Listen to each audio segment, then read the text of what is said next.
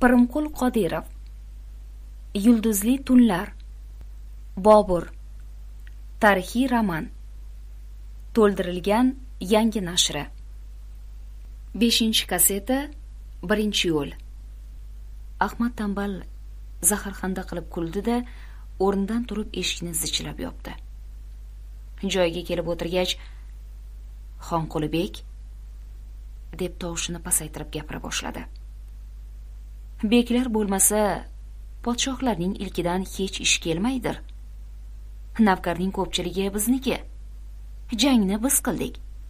Azobni biz tortdik. Endi bunday mute bo'lib yosh yigitchadan ruxsat so'rab o'tirmog'imiz ne kerak? Gapingiz rost shivirladi xonqulibek. Podsho bo'lsa o'ziga. Ruxsat bermasa bermasin. Men baribir keturmen. Men ham bu yerda xor bo'lib yurmoqchi emasmen. Omon bo'lsam podshoh topilur. Axsida jahongir mirzo bor. Buxoroda sulton ali mirzo bor. Bularning urug'i ko'p. Hammasiga sizu bizdek beklar kerak. Sizga mening maslahatim andijonda ko'p turmang. Ilikka tushib qolursiz.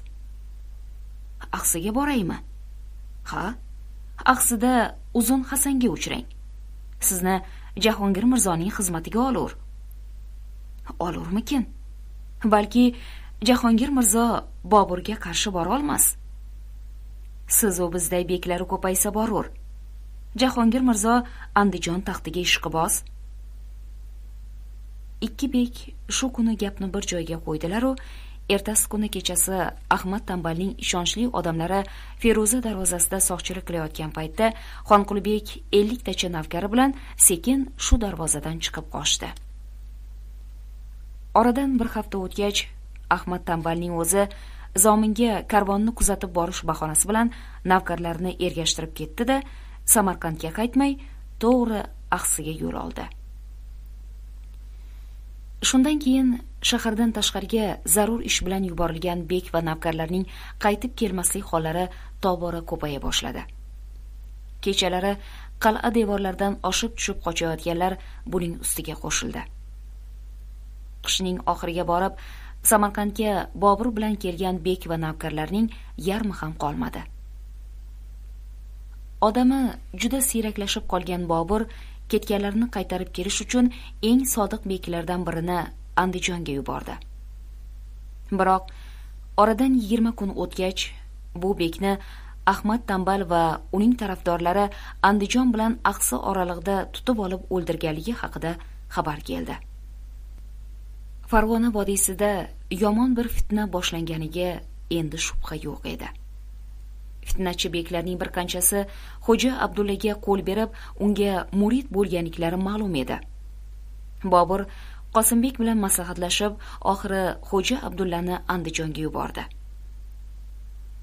Bobur taxtga o'tirgan kezlarda xo'ja abdullaning gapiga kirgan uzun hasan va boshqa fitnachi beklar bu gal uning nasihatlariyu va'dalariga mutlaqo quloq solmadilar.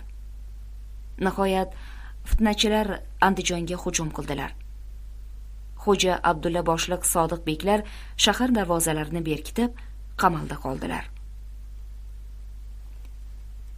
Bu mudhish xabar samarqandga yetib kelganda bobur qattiq betob bo'lib bo'stonsaroyning ikkinchi qavatidagi xobgohda isitmalab yotgan edi. Andijondan kelgan chopar o'ram qilib so'rg'ishlangan maktubni yasovulga ko'rsatdi-yu ammo bermadi. Hazrati xonim amirzodaning o'z iliklariga bering deb buyurganlar. Bobur har kuni necha qayta andijondan chopar bormi? deb so'rar edi.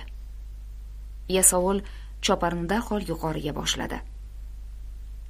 Xobgoh eshigi oldida ularni boburning shaxsiy tabibi bo'lgan kichik jussali mo'ysafid to'xtatdi. Bu kitobatni avval qosimbek o'qimoqlari kerak. Agar xushxabar bo'lsa keyin amirzodamga berursiz. Onalari buyurganlar. Ustodlari xo'ja abdulla ham tayinlaganlar. Amirzodamning o'zlari o'qimoqlari kerak. Yomon xabar mirzo hazratlarini xarob qilishi mumkin dedi tabib kuyunib. Asli o'zlari tumovlab tuzalish arafasida edilar. Tashvish ustiga iztirob iztirob ustiga kulfat hammasi qo'shildiyu muolajani oxiriga yetkazmay turib ketdilar. Mana bugun uzlikib ahvollari og'irlashib yotibdilar. Andijon xavf ostida. Agar tezroq bildirmasak keyin kech bo'lur. Bizdan norozi bo'lurlar. Yo'q. Men hozir ijozat bermaydirmen janobi tabib. Yo'q yo'q. Bu bahs ichkarida yotgan boburning qulog'iga chalindi. U baland tovush bilan chopar bo'lsa kirsin deb buyurgandan keyin tabib choparga yo'l berdi. Bobur katta tanobiy xonaning to'rida yerdan bir gazcha baland qilib solingan parqu to'shakda yotgan edi. Chopar to'shakdan ancha berida yukundi da tizzasida sirg'alib borib maktubni boburga ikki qo'llab uzatdi. Isitmaning zo'ridan bo'g'riqib yotgan bobur yonboshga turib maktubni titroq qo'llar bilan ochdi. Ichma ich ikkita xat. Birida xo'ja abdullaning imzosi. Birini qutlug' nigor xonim yozgan. Ular ikkovi ham andijonning dahshatli ahvoli qamal tafsilotlari haqida yozishgan. Boburdan boshqa najotkorlari yo'qligini aytishib tezroq yetib kelishini iltijo qilishgan edi. Andijon qurshovda. Fitnachi beklar andijon taxtiga jahongir mirzoni o'tkazmoqchilar. Ahmad tanbalni lashkarboshi qilishib boburdan ota yurtini tortib olmoqchilar. Bobur ularni bunchalikka boradi deb hech o'ylamagan edi. To'satdan uning ustidan bir chelak sovuq suv quyilganday bo'ldi-yu a'zoyi badani muzlab bo'shashib boshi yostiqqa shilq etib tushdi. Tamom. Tambal bilan jahongir g'alaba qilsa ularning tomoniga qochib o'tguvchilar yana ko'payadi. Bobur kim bilan qoladi? Balki hozir ham tanbal tomonga qochib o'tayotganlar bordir. Balki qosimbekning o'zi ham kutilmaganda xayolga kelgan bu o'ydan bobur shunday dahshatga tushdiki butun kuchini to'plab o'rnidan sapchib turdi. Qosimbek qani? Hozir kelurlar odam yubordik. Dedi tabib muloyim tovush bilan. Amirzodam yoting sizga orom kerak. Boburning xasta xayolida birdan qilich tutgan tanbal gavdalandi bobur bu qilichni tanidi. O'shda tanbal shu qilichni o'pib to o'lgunimcha sodiq qulingizman degan edi. Tanbal o'sha qilichni hozir go'yo boburning boshi ustida o'ynata boshladi. Tanbalning oyog'i ostida tog'dan xurjunga solib kelingan kallalar yumalab yotibdi. Ularning biri tanishga o'xshadi. Qutlug' nigor xonimning boshi. Bobur alahsirab ko'z oldiga keltirgan bu qo'rqinchli xayol uni go'yo to'shakdan otib yubordi. U gilam ustida ichki kiyimda oyoq yalang turganicha shamshirni bering deb qichqirdi. Menga shamshirni bering tabib uni mahkam quchoqlab oldi. Amirzodam xastasiz yotmog'ingiz kerak. Amirzodam. Tabib boburni go'yo tanbalning qilichiga tutib bermoqda edi. Bobur uning quchog'idan yulqinib chiqib eshikka intildi. Ot keltiring. Men andijonga boramen. Shamshir qani beklarga xabar bering. Tezroq tayyorlansinlar. Tabib uning ketidan yugurdi. Dastorpech boburning kimxob to'nini olib borib yelkasiga yopdi. Oyog'iga kavushini berdi. Bobur kavushning bir poyini kiydi-yu ikkinchisini kiyishga toqati yetmadi. Uning boshi gir gir aylanar havo yetishmay nafasi qisilar edi. Ko'z oldida hamon o'sha qonli qilich va kesik kallalar. Xoin dedi u tanbalga qarata. Qonxo'r! Bobur ayvon eshigiga qarab chopdi. Lekin eshik oldida gandraklab yiqildi. Tabib bilan dastorpech uni behush ahvolda to'shakka ko'tarib kelib yotqizishdi. So'ng u yarim kechaga borib sal hushiga keldi. Ko'zini ochib og'ziga paxtadan suv tomizayotgan tabibni ko'rdi. Nazarida tili shishib shunday katta bo'lib ketgan ediki butun tanasini tog'day bosib yotardi. Bobur ko'zini ochganini sezib qosimbek uning tepasiga keldi. Xayriyat e amirzodam bizni muncha qo'rqitdingiz. Bobur ko'zlari mo'ltirab nimadir demoqchi bo'ldi. Ammo behad og'irlashib ketgan tilini qimirlatolmadi endi yaxshimisiz amirzodam? Bobur jim qaraydi yu gapirolmaydi. Uning tildan qolganini sezgan qosimbek ko'zidan tirqirab chiqqan yoshni ko'rsatmaslik uchun yuzini chetga burdi. Andijon xo'jand. Uvol bo'lgan orzular. Birinchi. Tun qorong'isi ustiga osmonni quyuq bulut qopladiyu qal'a ichini zulmat bosib ketdi. Andijon ko'chalari tahlikali bir sukutga cho'mgan. Jimjit kechada ark darvozasining g'iyqillab ochilgani uzoqlarga eshitildi. Darvozaxonadan tushgan xira yorug'da arkdan chiqib kelayotgan bir to'p qurolli otliqlar ko'rindi. Oldinda erkakcha to'n va bo'rk kiygan beliga kamar bog'lab xanjar osgan xonzoda begim uning navkarlari orasida kelayotgan mavlono fazliddin ham to'nining ustidan harbiycha kamar bog'lab beliga qilich taqib olgan. Samarqanddan qaytgan chopar boburning hayot bilan o'lim orasida behush bo'lib yotganini aytib bergandan keyin qal'a himoyachilarining bir qismi fitnachilar tomonga qochib o'tib ketdi. Qo'rg'on devorlarining har bir gazini qo'riqlab turishga odam yetishmay qoldi. Qorong'i tunda dushmanning devorga narvon qo'yib oshib tushish xavfi kuchaydi. O'n olti yoshida sho'xlik bilan yigitcha kiyinib chavgon o'ynab yurgan xonzoda begim endi chinakamiga qurollanib hayot mamotlari qil ustida turgan qal'a himoyachilariga ko'makka boryapti. Quyuq qorong'ilikda otlarning taqalari ko'cha toshlariga urilib uchqun chiqaradi. Havodan yomg'ir hidi keladi. Mayin shabada esadi mavlono fazliddin bahor kirganini qal'a ichidagi bog'chalarda o'rik va bodom gullaganini esladi va atrofiga sinchiklab qaradi. Ammo bironta oqargan narsa ko'ziga chalinmadi. Tun butun borliqqa qop qora parda tortib qo'ygan edi.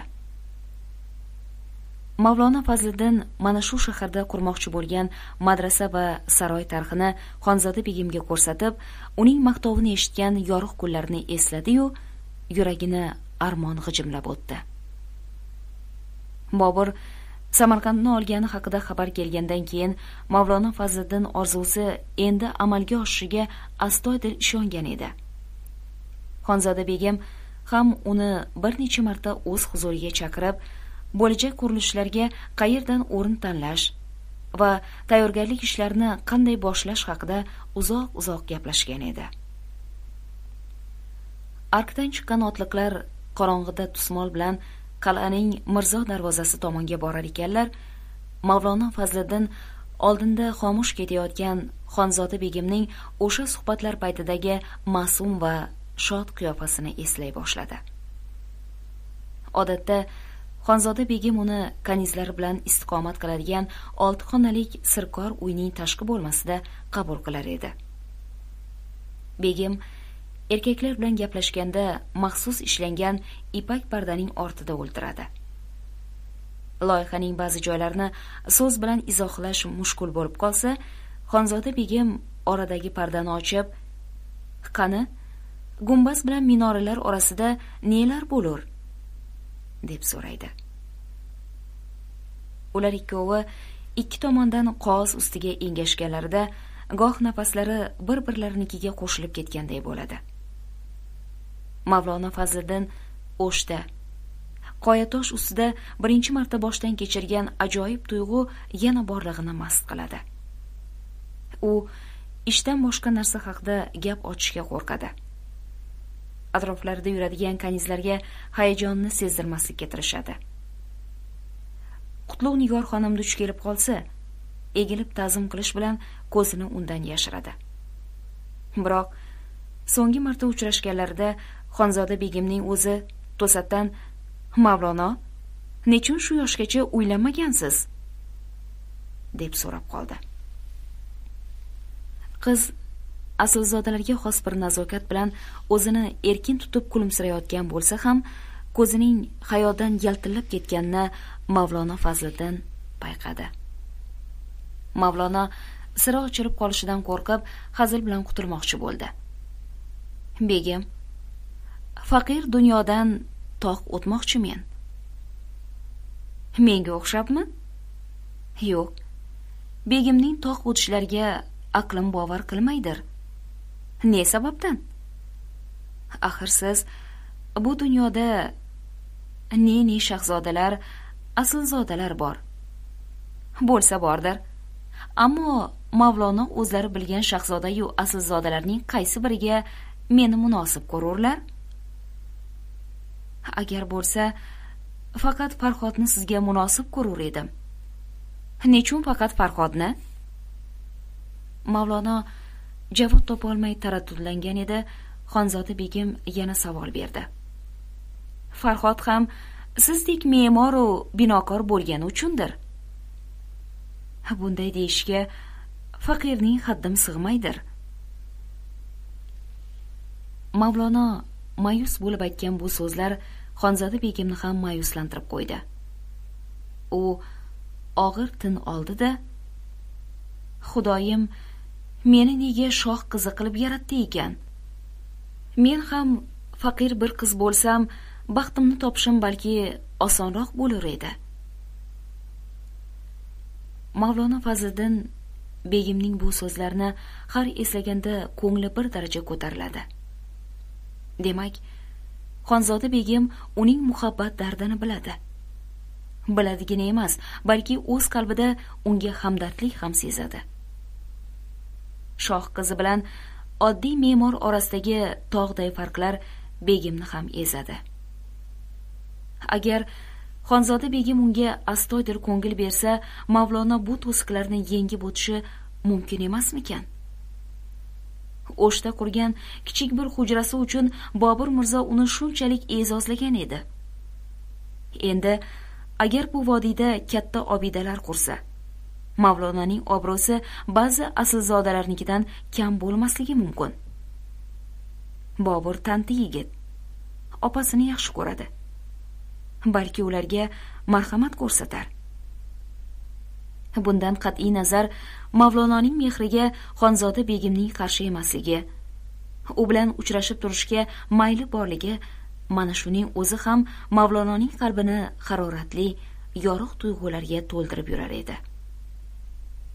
Biroq andijon qamalda qolgandan keyin mavlononing orzu umidlarini mana shu tun kabi qorong'u zulmat o'z qa'riga tortib ketdi. Barcha loyihalari keraksiz qog'ozga aylandi. Mavlono fazliddin urushni ham navkarlikni ham butun vujudi bilan yomon ko'rar edi. Biroq bugun arkka borib samarqanddan kelgan yomon xabarni eshitdi va xonzoda begimning qurollanib chiqayotganini ko'rdi-yu loqayd qarab turolmadi. Bu mushkul vaziyatda titrab qaltirab taqdir zarbasini kutib o'tirgandan ko'ra qurol bilan himoyaga chiqish yaxshiroq ekanini sezib umrida birinchi marta beliga qilich taqdi. Mana hozir vahimali qorong'ilikda suv quyganday jimib yotgan shaharni oralab borar ekan bir necha qadam oldinda xonzoda begim ham ketayotgani mavlono uni shu navkarlar qatori himoya qilishi mumkinligi ko'ngliga bir qadar taskin berardi. Ular mirzo darvozasiga yaqinlashganlarida qal'a tashqarisida birdan karnay va naqora chalingani yuzlab navkarlarning qichqiriqlari eshitildi. Xonzoda begim orqaga o'girilib yog'iy darvozani ochmoqchi dedi-yu otining boshini qo'ydi. Boshqalar uning ketidan ot choptirishdi. Yovning bir qism kuchlari mirzo darvozasi qarshisida g'avg'o ko'tarib qal'aga yonib turgan o'qlar otayotgan paytda boshqa bir guruh navkarlar qal'aning pana tomoniga narvon qo'yib sekin chiqib kelmoqda edilar. Devor shinaklaridan birida o'tirgan qorovul yigit buni sezib qoldi-yu darvozaxona tepasida mash'ala yorug'ida odamlarga ish buyurib turgan xo'ja abdullaga qichqirdi. Pirim. Yog'iylar bu yoqda narvon qo'yib chiqmoqdalar. Narvon! Xonzoda begim navkarlar bilan o'sha qorovul turgan joyga borib otdan tushdi. Navkarlardan biri mash'ala yoqdi. Uning yorug'ida devorga chiqiladigan zinapoya ko'rindi. Mavlono fazliddin devor tepasidagi xatarga xonzoda begim hammadan avval ro'baro bo'lishidan qo'rqdi-yu zinapoyaga birinchi bo'lib qadam qo'ydi. Chinakka yetganlarida begimning qo'lidagi mash'alasini oldi. Ehtiyot bo'ling begim yog'iyga ko'rinmang. Devorga tashqaridan qo'yilgan keng narvonlarning uchlari xiyol chiqib turar edi. Yordamchilar yetib kelgandan dadillangan boyagi qorovul yigit narvonlardan birini ikki qo'llab itarib ag'darib tashlayotgan paytda pastdan zarb bilan otilgan yoy o'qi uning ko'kragiga qadaldi bechora yigitni ushlab qolishga ulgurolmadilar. Narvon bilan birga qal'adan tashqariga uchib ketdi. Shinak atrofiga qirrali toshlar tayyorlab qo'yilgan edi. Xonzoda begim shu toshlardan birini ikki qo'llab oldi-yu pastga otdi. Boshqa navkarlar ham narvon qo'yilgan joyning pastini mo'ljallab tosh ota boshladilar. Pastda eshitilgan dodvoylar va ingrashlarga qaraganda bu toshlar mo'ljalga tegmoqda edi. Shu payt qal'aning narigi chetida hakan darvozasi tomonda qo'sh karnaylarning g'at g'ati tabil va naqora tovushlari allakimlarning g'olibona qichqiriqlari eshitildi. Mavlono fazliddin shovqin kelayotgan tomonga quloq solib turib qo'rqib ketdi. Bu galgi g'avg'o shahar ichida ko'tarilmoqda edi. Begim quloq soling. Yog'iy qal'aga kirganmi? Shahar ichidan bu tomonga yopirilib kelayotgan shovqindan xonzoda begim ham seskanib ketdi. Pastdan no'yon ko'kaldosh jon jahdi bilan qichqirdi. Begim xiyonatchilar hakan darvozasini yog'iga ochib bermishlar. Tezroq arkka qayting. Arkka! No'yon ot choptirgancha mirzo darvozasi tomonga o'tib ketdi. Xonzoda begim zinapoyadan pastga chopib tushar ekan mavlono fazliddin qo'lidagi mash'ala bilan uning izidan yugurdi. Otga minganlaridan keyin xonzoda begim mash'alani tashlang deb buyurdi. Mash'ala mavlononi yov o'qiga nishon qilib berishi mumkin edi. Mavlono fazliddin yonib turgan mash'alani yerga tashladi yu begim bilan birga arkka qarab ot choptirib ketdi. Ammo ular arkka yaqinlashganlarida bir necha yuz otliqlar oldilaridan qirqib chiqdilar va darvoza yo'lini to'sib qo'ydilar. Qurolli otliqlar orasida mash'ala ko'targan navkarlar ham bor edi. Mash'ala yorug'ida beliga oltin kamar bog'lagan dubulg'a va jiba kiygan ahmad tanbal ko'rindi-yu mavlono fazliddinning borlig'i muzlab ketganday bo'ldi. Tanbalning qo'shini xonzoda begimni va uning navkarlarini darhol qurshovga oldi. Ahmad tanbal yonidagi navkarga sho'x tovush bilan gapirdi. Mash'alani yaqinroq tut. Iye xonzoda begimmilar? Ko'zlarimga ishonmaymen begim bu ne hol? Nechun mardona kiyim kiyibsiz? Nomardlar ko'payib ketgani uchun mardona kiyindim. Tanbal bu istehzoni o'ziga olgisi kelmay kuldi. Qo'rg'onda mardlar qolmagan bo'lsa mana biz keldik begim. Tanbalning ketida turgan uzun hasan bu gapni yoqtirib xoholadi. Mash'ala yorug'i beklar orasida ayanchli kulimsirab turgan ko'sanamo ali do'stbekka tushdi. Bobur andijonni mana shu odamga ishonib topshirib ketgan edi. Ali do'stbek esa boburni o'lim to'shagida yotibdi deb eshitib undan umidini uzgan edi.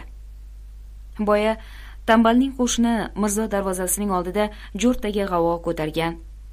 Devorga narvon qo'yib chiqmoqchi bo'lganlar ham himoyachilarni ataylab chalg'itgan edi. Ahmad tambal bilan til biriktirgan ali do'stbek bugun mana shu to'polon paytida qal'aning narigi chetidagi hakan darvozasini yovga sekingina ochib bergan edi. Xonzoda begim buni endi fahmladi yu do'stbek bilan ahmad tanbalga nafrati oshib jirkanib ko'z tashladi. Sizlarmi mardlar? Sizlar uchun mardlik bilan xoinlikning farqi qolmadimi? Kechagina bobur mirzoga sodiqmiz deb qasamyod etganlar bugun unga shunchalar yomonlik qilmoqdasiz. Men aminmen ertaga siz jahongir mirzoga ham xiyonat qilursiz. Ahmad tanbal qilichining sopini changallab haddingizdan oshmang begim dedi. Bobur mirzo adolatsizlik qildi. Samarqand olingandan keyin andijon jahongir mirzoga berilmog'i kerak edi. Bobur mirzo bermadi. Biz adolat uchun jang qilib mana bugun g'alabaga erishdik. Ammo siz sharmu hayoni unutib nechun bizni bunchalik haqorat qilmoqdasiz? Shoh qiziga yarashmaydigan bu qiliqni sizga kim o'rgatdi? Yoningizdagi mullocha o'rgatdimi? Ahmad tanbalning g'azabli ko'zlari mavlono fazliddinga qadaldi. Mavlono fazliddin ham uning ko'zlariga ko'zini qadab gapirdi. Begim sharmu hayodan sizu bizga saboq berishga qodirlar. Begimning haq so'zlarini faqat qalloblar haqorat deb tushunurlar. Kim qallob? deb ahmad tanbal qilichini sug'urib mavlonaga qarab ot choptirdi. Shunda xonzoda begim otini niqtab uning yo'lini to'sib chiqdi. Ilmu hunar ahlig'a tig' tortish uyat. Ikkovining otlari bir biriga urilib ayqashib ketdi. Ahmad tanbal qilichini havoda o'ynatar ekan begim bu mullochani ma'shuqalardek himoya qilishlari uyat emasmi? Dedi. Biz maxfiylardan eshitgan edik. Ammo loyiha chizish bahonasi bilan bu mullocha begimni nechog'lik rom qilganini bilmas ekanmiz. Ko'pchilik oldida ahmad tanbal xonzoda begimning nomiga dog' tushirmoqchi bo'lgani xonzoda begimni shunchalik g'azablantirdiki u belidan xanjarni sug'urdi. Meni badnom qilolmaysen alamzada xoin deb bor kuchi bilan tanbalning ko'kragiga tig' urdi. Xanjar ahmad tanbalning to'ni tagidan kiygan zirhli jibasiga tegdi da jaranglab sirg'anib ketdi. Ahmad tanbal qilichini xonzoda begimning tepasida sermadi. Qilich zarbidan xonzoda begimning boshidagi bo'rki uchib ketdi-yu uzun sochlari yoyilib yelkasiga tushdi. Shu payt orqadan o'n to'rt yoshli jahongir mirzo bir to'p mulozimlar bilan kelib qoldi. Buni ko'rgan do'stbek ahmad tanbalni ogohlantirdi. Ahmadbek janoblari bas bo'ldi. Xonzoda begim o'gay bo'lsa ham har qalay jahongir mirzoning opasi edi. Shoh qizini ko'pchilikning oldida sazoyi qilishga yo'l qo'ymas edi. Ahmad tanbal jahongir mirzo tomonga otini burdi. Va o'zini oqlamoqchi bo'lib gapirdi. Bu qanday hol amirzodam? Nahotki egachingiz sizga qarshi qurol ko'tarib chiqsa? Yonlaridagi fitnachi me'mor egachingizni yo'ldan urmish amirzodam. Mavlono fazliddin sizdek xiyonatchi bekdan ming hissa sofdil ming hissa olijanob dedi xonzoda begim. Mavlononing me'morlik san'ati andijonning iftixori bo'lishi mumkin edi. Ammo sizdek qonxo'rlar uning orzularini uvol qildingiz. Ilohim shu orzularning uvoli tutsin sizni. Xonzoda begim so'nggi so'zlarini yig'lab aytdi-yu otini qamchilab ark darvozasiga qarab intildi. Biroq darvozani devordek to'sib turgan navkarlar unga yo'l bermadilar. Begim yoshli ko'zlari bilan orqaga mavlono fazliddinga o'girilib qaradi. Mavlono fazliddin belini paypaslab qilichining sopini topdi da uni qinidan uquvsizlik bilan sug'urib olib xonzoda begimning yo'lini to'sgan navkarlarga qarab intildi. Ammo ahmad tanbalning otliq navkarlari mavlono fazliddinning yo'lini to'sib chiqdilar. Ikkitasi mavlono mingan otni jilovdan ushlab to'xtatdi. Biri og'ir cho'qmor bilan mavlononing bilagiga urib qilichini qo'lidan tushirib yubordi. Bu orada jahongir mirzoning ishorasi bilan narigi navkarlar xonzoda begimga yo'l bergan edilar. Begim yolg'iz o'zi ark darvozasidan ot qo'yib o'tar ekan yana orqaga o'girilib qaradi. Navkarlar yana devordek bo'lib darvoza yo'lini to'sib olgan edilar. Mavlono fazliddin yov qo'lida qolganini sezgan begim o'kirib yig'ladi. Uning yig'isiga faqat darvozaxona shifti bo'g'iq bir nido bilan javob berdi xolos. Tanbalning odamlari mavlono fazliddinni otdan tortib tushirdilar va qo'lini orqasiga bog'lab piyoda haydab ketdilar. Ikkinchi cho'qmor zarbidan jarohatlangan bilagi qattiq og'riyotganini mavlono fazliddin qorong'i bir hibsxonada yolg'iz o'zi qolganda sezdi. Uni andijonning chaqardagi tosh istehkom ichiga o'lim jazosini kutadigan mahbuslar hujrasiga qamab eshigini tashqaridan qulflab oldilar. Bu bilan ham qanoat qilmay eshik oldiga ikkita soqchi qo'yib qo'ydilar. Boya ark darvozasi oldida ahmad tanbal bilan jahongir mirzoning o'zaro gaplaridan mavlono fazliddin shuni aniq sezdiki uni shoh qiziga tama qilishda va oliy zotlarga beadabona munosabatda bo'lishda ayblab ertaga toshbo'ron qilib o'ldirtirmoqchilar. Shu bilan ahmad tanbal xonzoda begimni ham badnom qilib bir alamdan chiqsa kerak. Bobur va uning tarafdorlari xalq orasida yomonotliq bo'lishlaridan jahongir mirzo va uning onasi fotima sulton begim ham manfaatdor edilar. Bu bilan ular andijon taxtini narigilardan tortib olib to'g'ri ish qilganlarini isbotlaganday bo'lardilar. Rutubatli zax hujrada qorong'ilikka tikilib o'tirgan mavlono fazliddin orqasiga bog'langan qo'llarini beliga bosib bilagining og'rig'ini to'xtatmoqchi bo'lar. Lekin og'riq pasayish o'rniga tobora zo'rayar edi. Bu hali birgina cho'qmorning zarbi.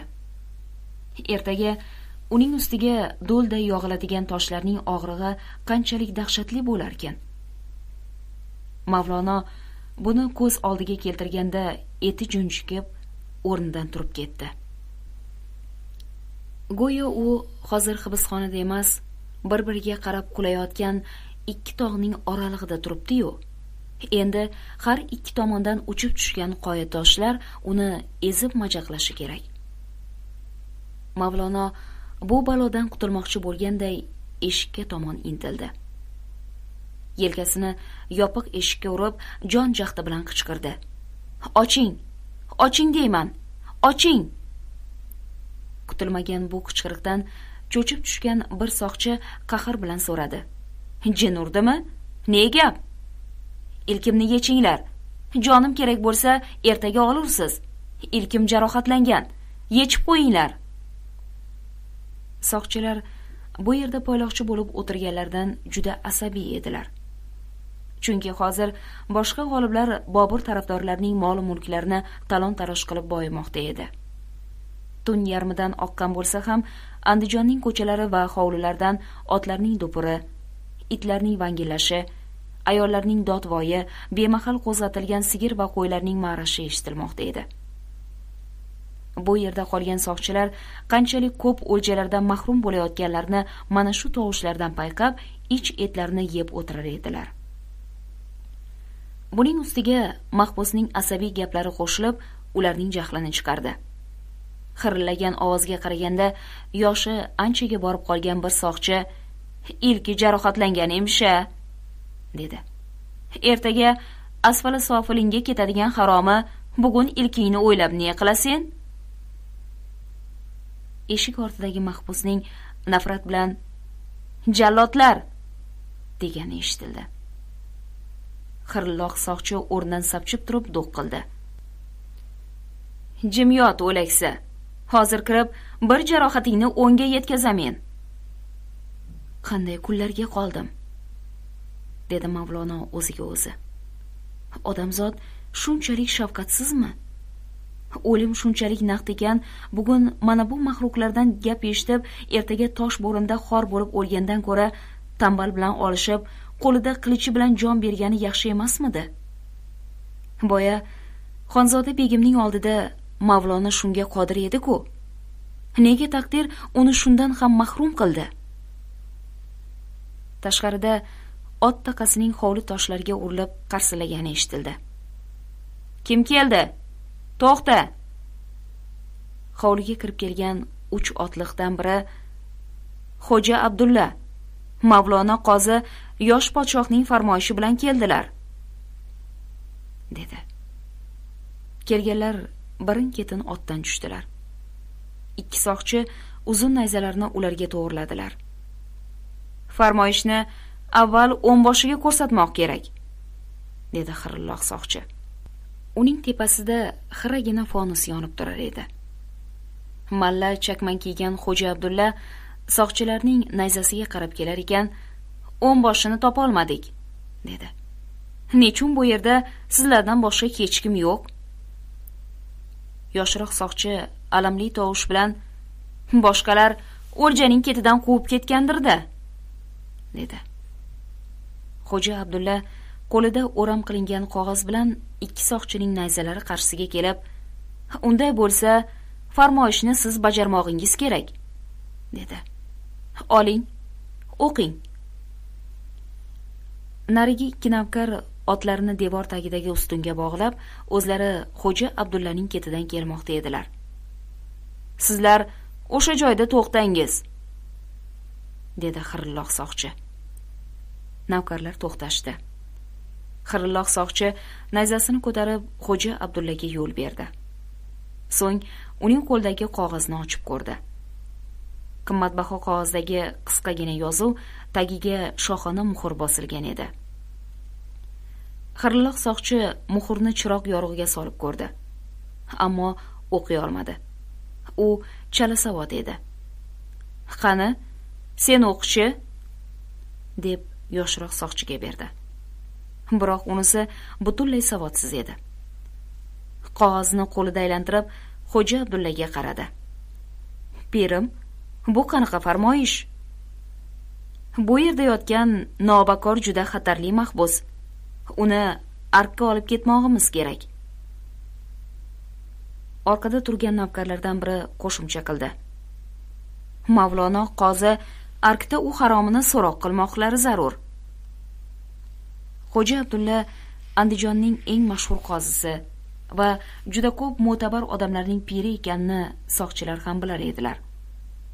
Ular xo'ja abdullani bir ko'rishdayoq tanigan edilaru ammo uning bobur tarafida turib jang qilganini eslab ikkilanar edilar.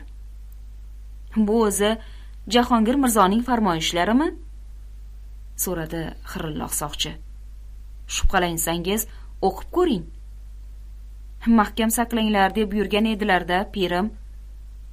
Mahkam saqlaganlaring shumi? Yuzboshi qani? Nechun faqat ikkovlon qolmishsiz?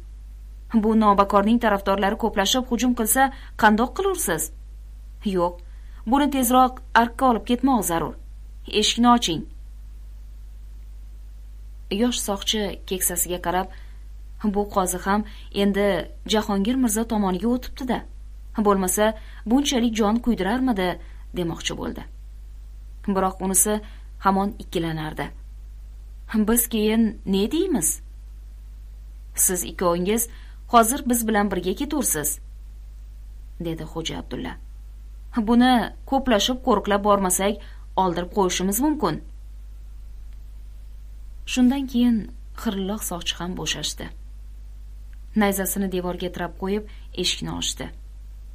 U ichkariga qadam qo'yishi bilan xo'ja abdullaning hamrohlaridan biri yosh soqchining boshiga qora bir narsani yopib o'zini yerga ag'anatdi.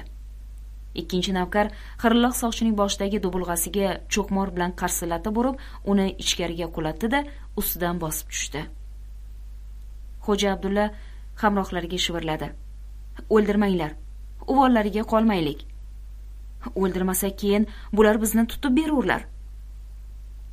Mavlono fazliddin jiyani tohirning ovozini tanib jiyanim tohirjon deb qichqirdi. Qora parda ichida talvasa qilayotgan yosh yigit esa pirim shafqat qiling dedi. Pirim sizga zinhor yomonlik qilmaymiz qutqaring pirim bas deb shivirladi xo'ja abdulla tohirga. Oyoq qo'llarini bog'lasalaring bo'ldi. Mavlono fazliddin tohir bilan xo'ja abdullaga tomon otildi. Ustod jiyanim najotkorlarim tohir narigilarning qo'l oyog'ini bog'lash bilan ovora edi. Mavlono fazliddin qani siz dedi xo'ja abdulla. Xo'ja abdulla mavlononi bag'riga bosar ekan uning qo'li bog'liq ekanini sezdi-yu quchog'idan qo'ymay eshikdan tashqariga olib chiqdi. Fonus yorug'ida belidan xanjarni olib mavlononing qo'li bog'langan ola chilvirni kesib tashladi. Tohir sherigi bilan narigi ikki soqchini ichkariga qamab eshikni qulfladi da tog'asining quchog'iga otildi. Jiyanim xudo seni qaydan yetkazdi? Boya samarqanddan chopar bo'lib keldim bobur mirzo sog'milar ha tuzalib qoldilar. Yordamga yetib kelmoqchilar. Andijon qo'ldan ketganini bilurlarmi? Hali bilmaydilar da xo'ja abdulla ularga shipshidi endi jim. Tohir tog'asini otiga mingashtirib oldi. Chaqirdan sekin chiqib qal'aning ovloq bir chetiga qarab ketdilar. G'oliblar hovlilarda hamon talon taroj bilan band edilar. To'rtovlon uch otda qal'a devorining tagiga keldilar. Endi hamma himoyachilar tarqab ketib devor atrofi huvillab qolgan edi. Mana shu yerda oshib o'tishga qulay joy bor dedi xo'ja abdulla. Hammalari otdan tushdilar. Tohirning sherigi xurjunidan o'ram qilingan arqon oldi. To'rtovlon maxsus zinapoyadan devor tepasiga chiqqanlarida xo'ja abdulla mavlono fazliddinga yondashdi. Mavlono sizni darvozadan otliq chiqarish xatarli tanib qolurlar. Minnatdormen ustod. Xo'ja abdulla qo'ynidan bir narsa olib mavlononing qo'liga tutqazdi. Bu ichi oltinga to'la og'irgina charm hamyon edi. Buni sizga xonim hazratlari berib yubordilar dedi xo'ja abdulla. Voqeadan xonim hazratlari ham xabar topdilarmi? Hazrat xonim yig'lab mendan iltimos qildilar. Ahmad tanbal siz orqali begimu xonimlarni sharmisor qilmoqchi ekan. Ammo biz tirik bo'lsak bobur mirzoning oilasiga ham muborak nomiga ham dog' tushirmagaymiz mavlono hamyonni olib qo'yin cho'ntagiga solar ekan. Men to'g'ri bobur mirzoning huzurlariga yo'l olurmen dedi. Mavlono dedi xo'ja abdulla ma'yus tovush bilan. Biz xonim hazratlari bilan sizga boshqa bir maslahat bermoqchi edik. Andijonda arab tilini xo'ja abdullachalik yaxshi biladigan odam yo'q edi. Bir vaqtlar mavlono fazliddin ham shu odamdan arab tilidan saboq olgan edi va shundan beri uni ustod deb atar edi. Qanday maslahat bo'lsa bosh ustiga ustod. Samarqandga tohirbek borurlar. Men tog'amni birga olib ketsamchi? dedi tohir. Beshinchi kasseta birinchi yo'l tugadi. Ikkinchi yo'l. Yo'q tohirbek siz choparsiz. Balki bobur mirzo samarqandni tashlab chiqqandirlar. Mavlono sizning noyob iste'dodingiz bor. Siz o'zingizni ehtiyot qilmog'ingiz kerak. Movarounnahrdagi bu fatoratlar hali beri bosilmasa kerak. Mavlono siz bir vaqtlar hirotga ketish fikringiz borligini aytgan edingiz. Endi shu fikrni amalga oshiradigan payt keldi.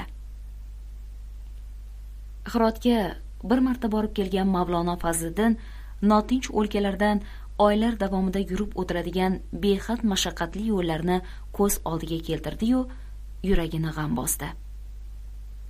Jarohatli qo'lining og'rig'i boya esidan chiqqan edi.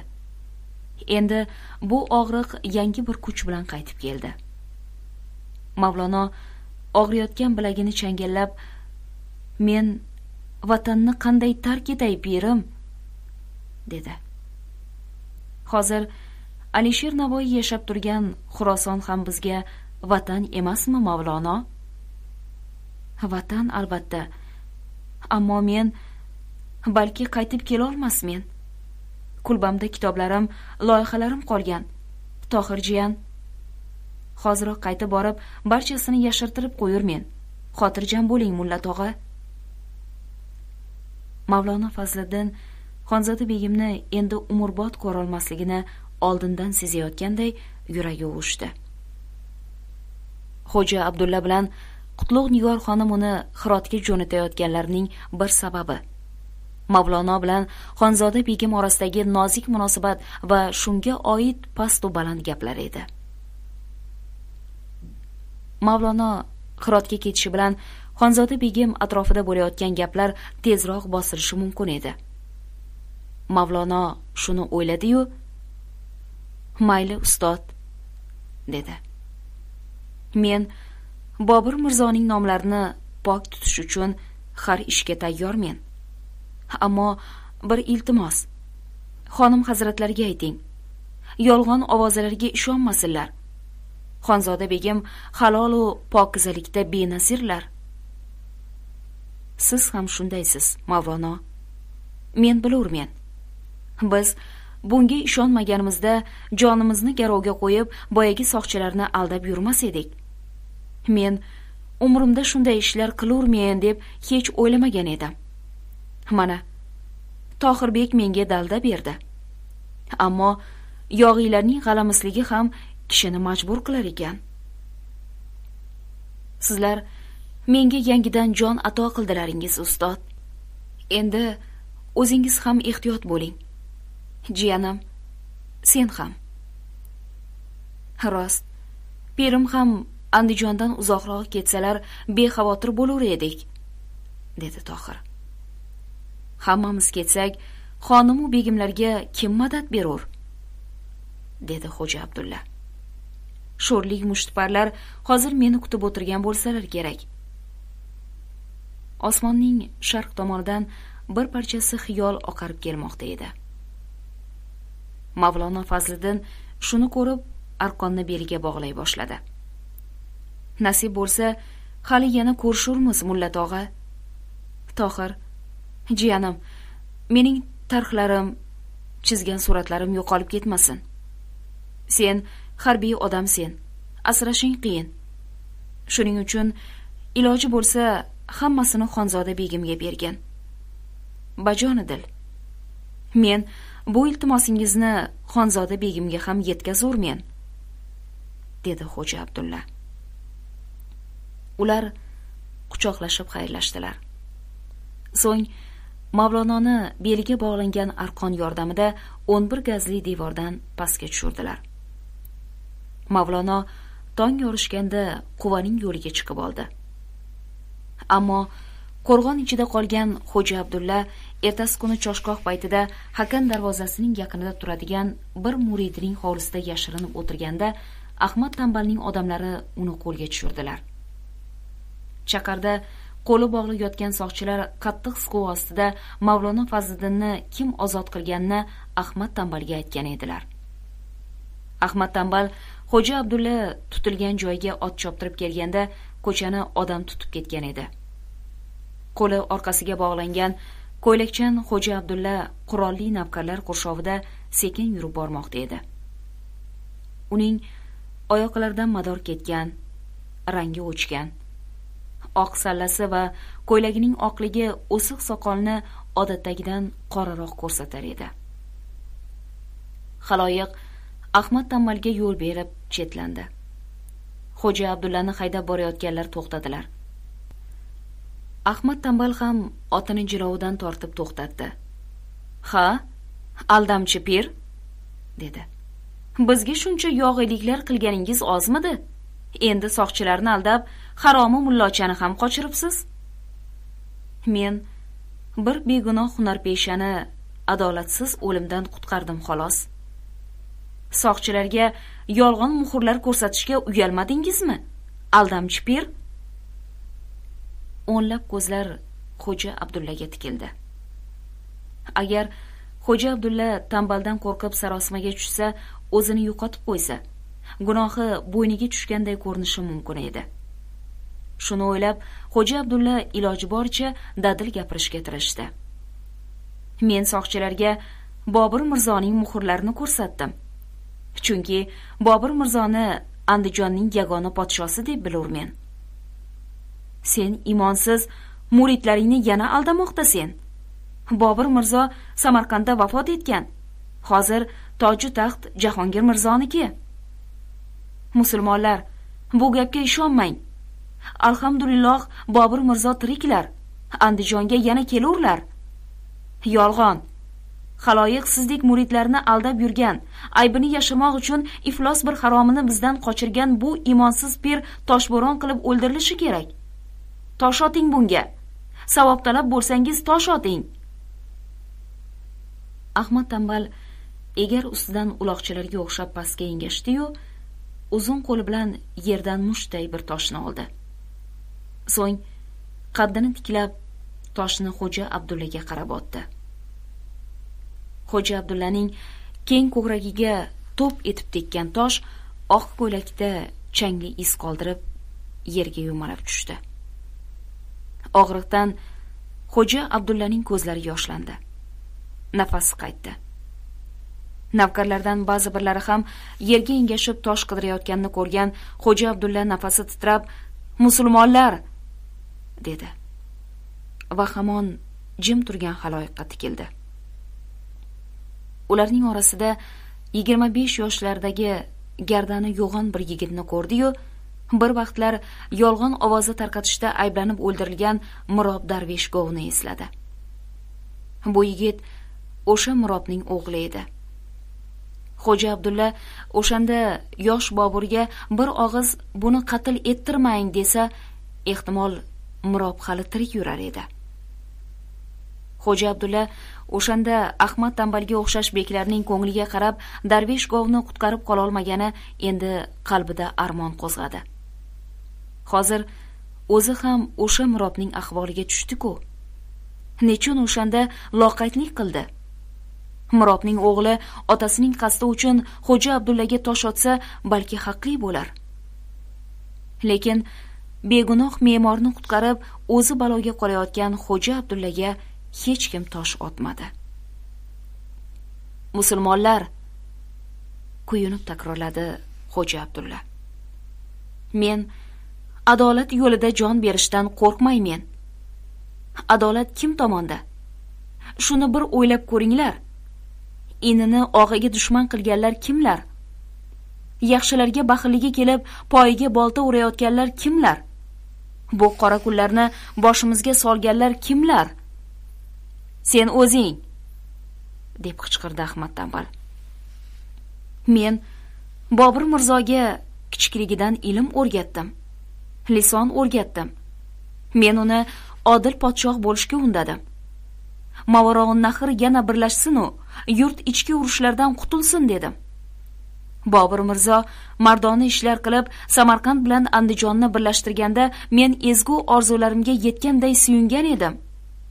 Hayhot mamlakat yana parchalandi. Yurt vayron bo'ldi.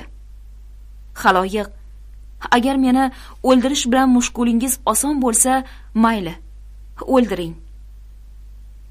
Toshbo'ron qiling buyurdi ahmad tanbal haloyiqqa odamlar to'pining orqarog'idan yig'lamsiragan tovush eshitildi.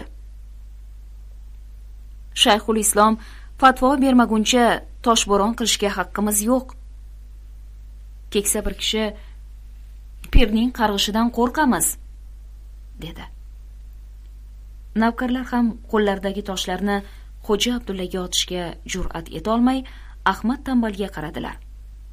Ahmad tanbal yuzboshiga buyurdi. Unday bo'lsa qilichingni ol. Kallasini kes. Bo'yniga tig' ur.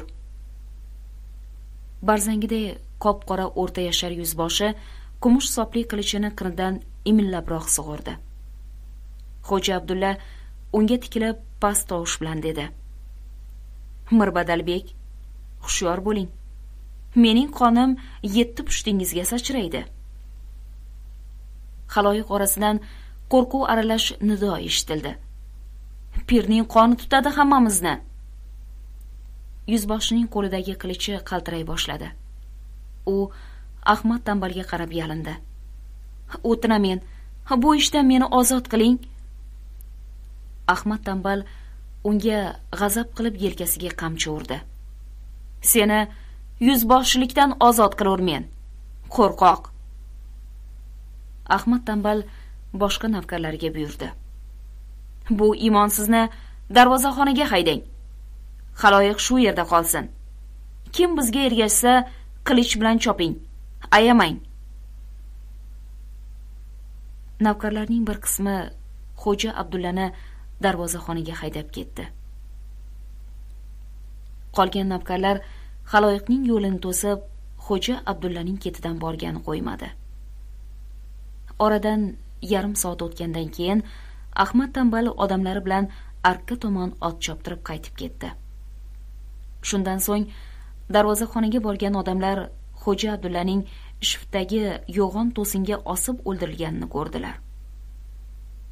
Marhumning oq sallasi oyog'i tagida chuvalib yotardi. Bo'yi esa tiriklik paytidagidan xiyla uzaygan edi. Odamlar uni dordan sekin tushirib oldilar. Kafan o'rniga sallasiga o'rab shahidlardek ko'mdilar. Uchinchi. Ustma yoqqan bahor yomg'irlari yo'llarni balchiq qilib yuborgan. Andijonda yuz bergan dahshatlar xabarini tezroq samarqandga yetkazish uchun loy sachratib ot choptirib borayotgan tohir endi quvaga yaqinlashdi.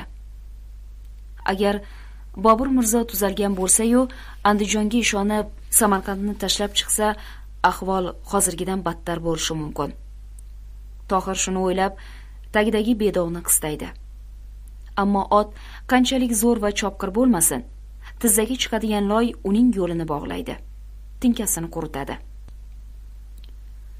Chopib kelayotgan ot balchiqqa yiqilib tushadi-yu qaytib turolmasdan burnidan qon kelib jon beradi.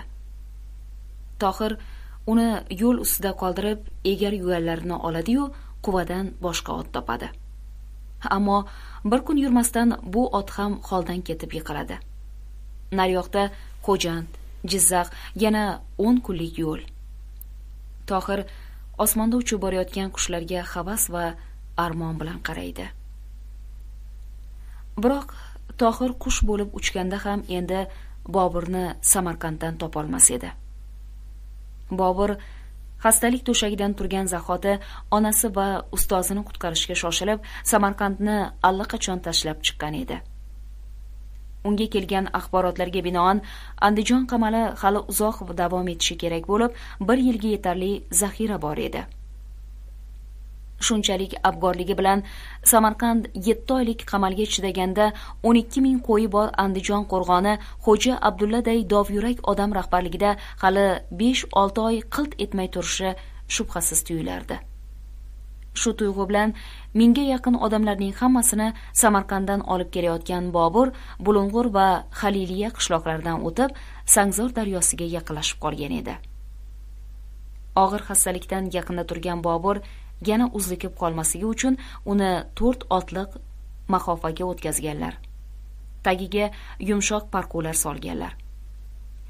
Mahofaning eshik va derazalariga osilgan qizg'ish ipak pardalar yo'lning o'nqir cho'nqirlarida alanga tillarday muttasil silkinib o'ynab boradi. Paryostiqqa yonboshlab o'tirgan bobur har zamonda bir o'rindan qo'zg'alib mahofaning orqa tomondagi pardani ko'taradi yu uzoqlarga tikilib qaraydi. Uning qo'shinidan besh olti chaqirim orqada yana bir mahofa kelmoqda edi. Bir talay otliqlar qo'riqlab borayotgan bu ko'rkam mahofada boburning xolasi mehr nigor xonim va qallig'i oyisha begim safar qilmoqdalar. Bobur samarqandni tashlab ketmoqchi ekanidan buxorodagi sulton ali mirzo allaqachon xabar topgan va poytaxtni darhol egallash uchun shahrisabzga kelib shaylanib turar edi. Bobur o'z raqibi sulton ali mirzodan yaxshilik kutmas va qallig'ini uning qo'li ostida qoldirgisi kelmas edi. Bir vaqtlar boysunqur mirzodan qattiq jabr ko'rgan mehr nigor xonim va oyisha begimlar ham endigi xavf xatarlardan tezroq qutulgilari kelar edi. Hozir ular uchun eng bexatar joy toshkent edi. Toshkent xoni mahmudxon mehr nigor xonimning akasi. Oyisha begimning opasi roziya sulton begim ham toshkentga mahmudxonga tushgan. Toshkent yo'li jizzaxgacha andijon yo'li bilan bir. Mana shu sabablarga ko'ra bobur xolasi va qallig'ini butun odamlariyu ko'ch ko'ronlari bilan birga qo'riqlab olib ketmoqda edi. Faqat urf odatni buzmaslik uchun kuyov bilan qalliq orasida besh olti chaqirimlik masofa qoldirib ikki to'p bo'lib bormoqda edilar. Kechqurun sangzordan o'tib ko'm ko'k adirlarda tunash uchun to'xtaganlarida ham o'sha masofani saqlab ikki joyga chodir va o'tov tikdilar. Yon bag'irlarda lolalar ochilgan. Havo nihoyatda yoqimli. Bobur mayin ko'kat ustiga qadam qo'yganda o'zini xiyla yengil sezdi. Samarqanddan chiqayotganda vujudini zilday bosib yotgan g'am g'ussalar endi asta sekin tarqab ketayotganday tuyuldi.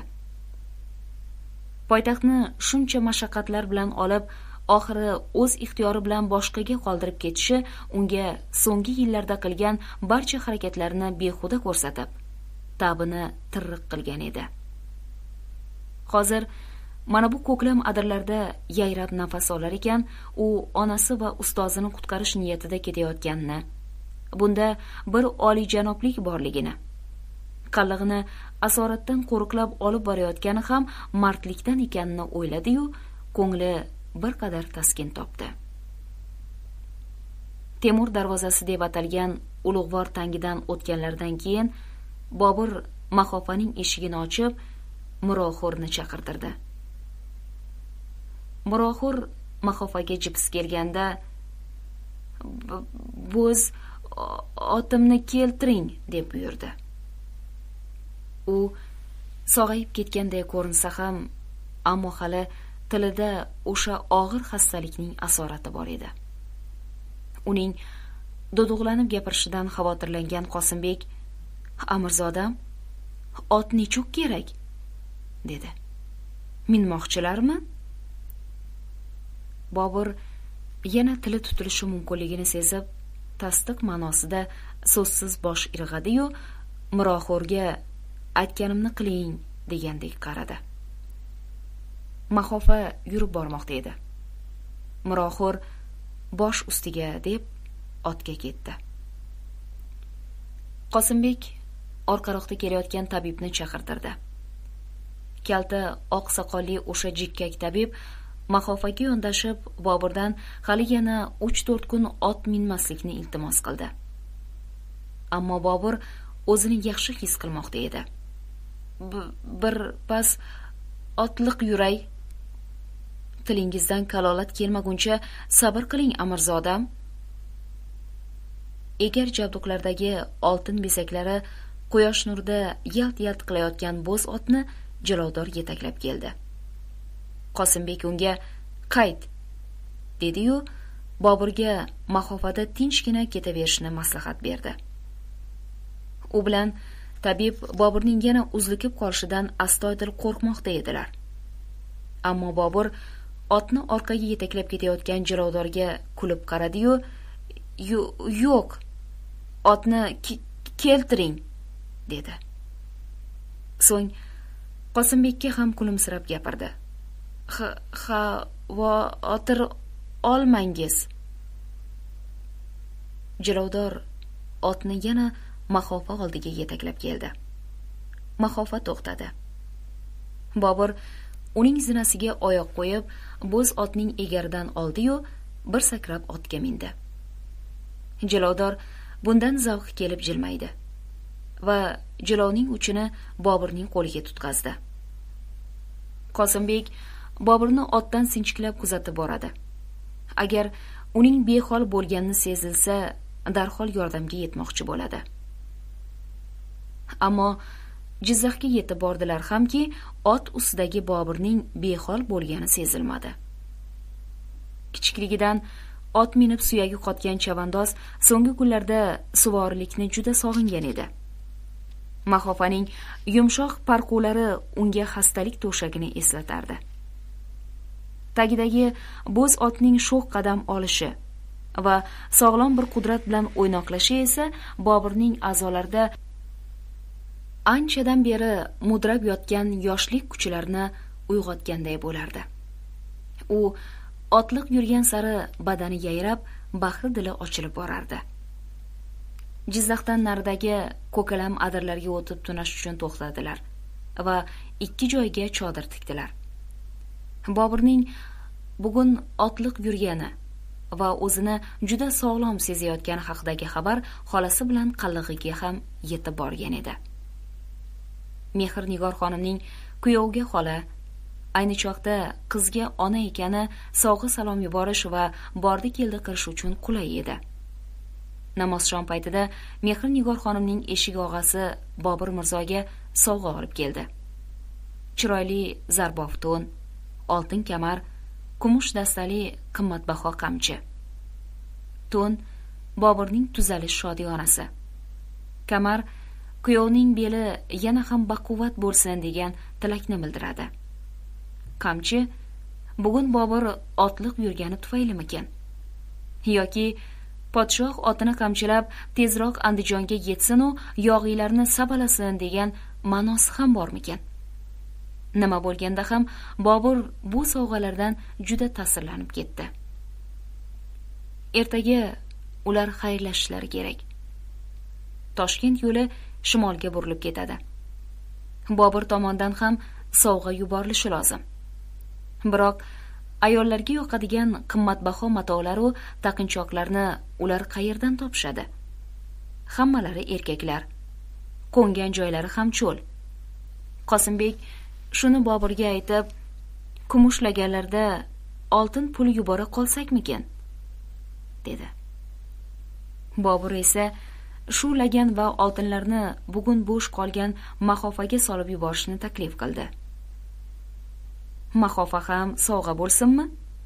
Balki ertaga o'zingiz mahofada yurursiz amirzodam? Xudo xohlasa yurmasmen. Zaifalar yursinlar. So'nggi gapni bobur buyruq ohangida aytdi. Shuning uchun qosimbek boshqa e'tiroz qilolmadi ertasi kuni ertalab ikki muhtasham mahofa ko'ch ortilgan tuyalaru arabalari bilan birga shimol tomonga burilib mirzacho'l orqali toshkentga yo'l oldi. Bobur o'z qo'shinidan yuz kishini qo'riqchilikka ajratgan edi. Ular ham mahofalar bilan birga uzoqlashib keta boshladilar.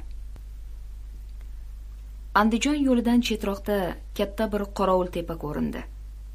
Bobur yolg'iz o'zi shu tepaning ustiga ot qo'yib chiqdi da egardan tushdi. Otining jilovidan tutganicha cheksiz cho'lda tobora kichrayib borayotgan mahofalarga ancha vaqt tikilib turdi. Go'yo u shu turishda qallig'i bilan xayrlashdi. Unga o'z ehtiromini bildirib oq yo'l tilagan bo'ldi.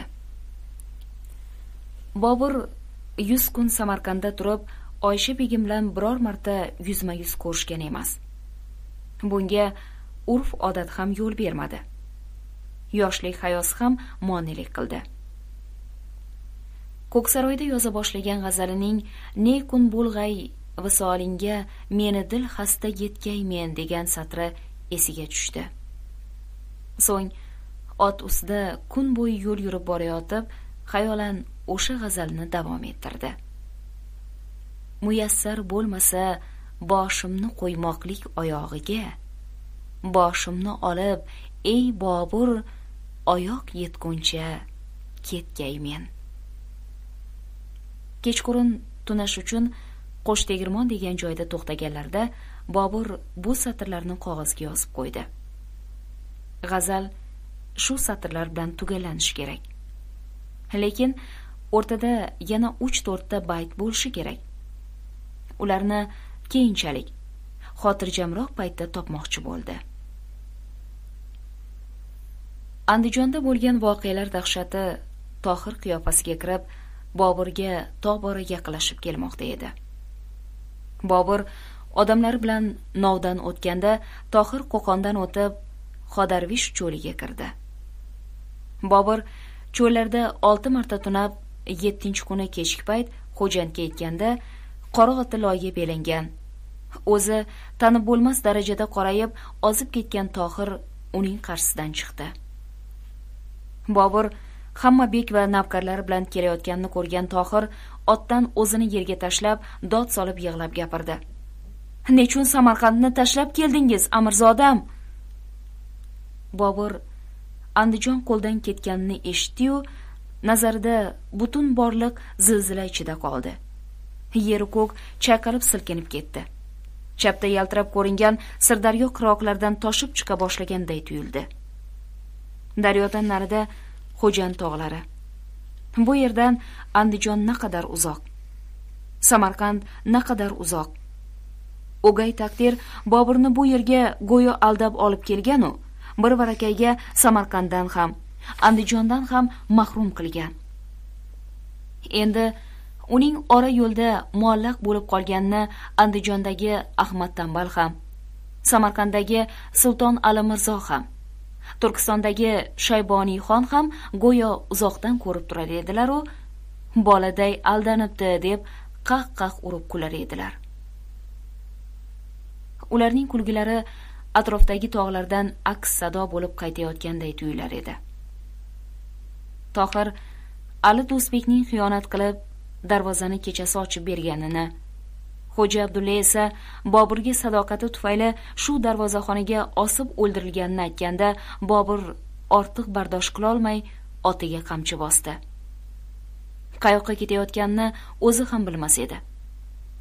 Chanqagan ot uni daryoning jar bo'lib yotgan baland qirg'og'iga olib keldi. Birdan bobur axsida jar qulashidan halok bo'lgan otasini esladi. Nazarida u turgan zamin ham hozir qulab tushmoqda edi.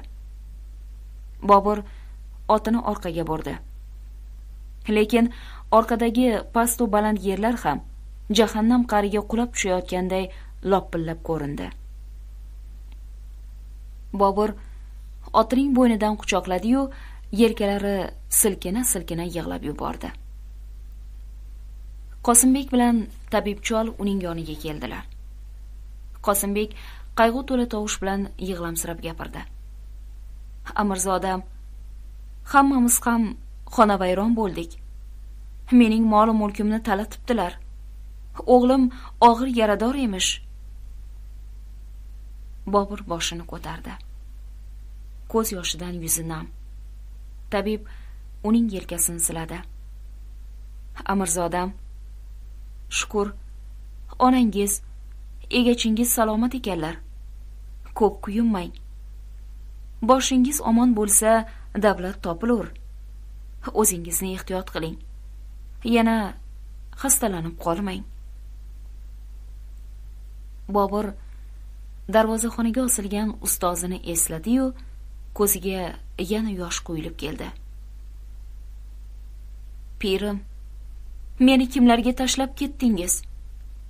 Shunday odamni osib o'ldirsalar men ustozim uchun qasos olmog'im kerak. Qasos! O'rtanib gapirayotgan boburning tili tutilmayotgandan tabib chol hayratga tushib unga tikilib qoldi. Oxirgi nafasim qolguncha olishurmen boburning yuzi qahru g'azabdan bir oqarib bir qizarib ketayotgan bo'lsa ham so'zlari ravon edi.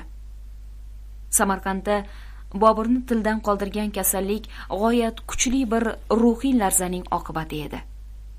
Endi undan ham kuchliroq ruhiy larza boburning tilida qolgan duduqlikni birdan yo'q qilib yubordi. Dushmanlariga qarshi cheksiz bir nafrat va g'azab unga kuch quvvat bermoqda edi. Xoinlar jazosini olur chekinish yo'q odamlarni to'plang hammaga ayting andijonga borurmiz. Bobur otini keskin burdiyu parishon bo'lib tarqayotgan odamlarga qarab ketdi. Xo'jand marg'ilon andijon.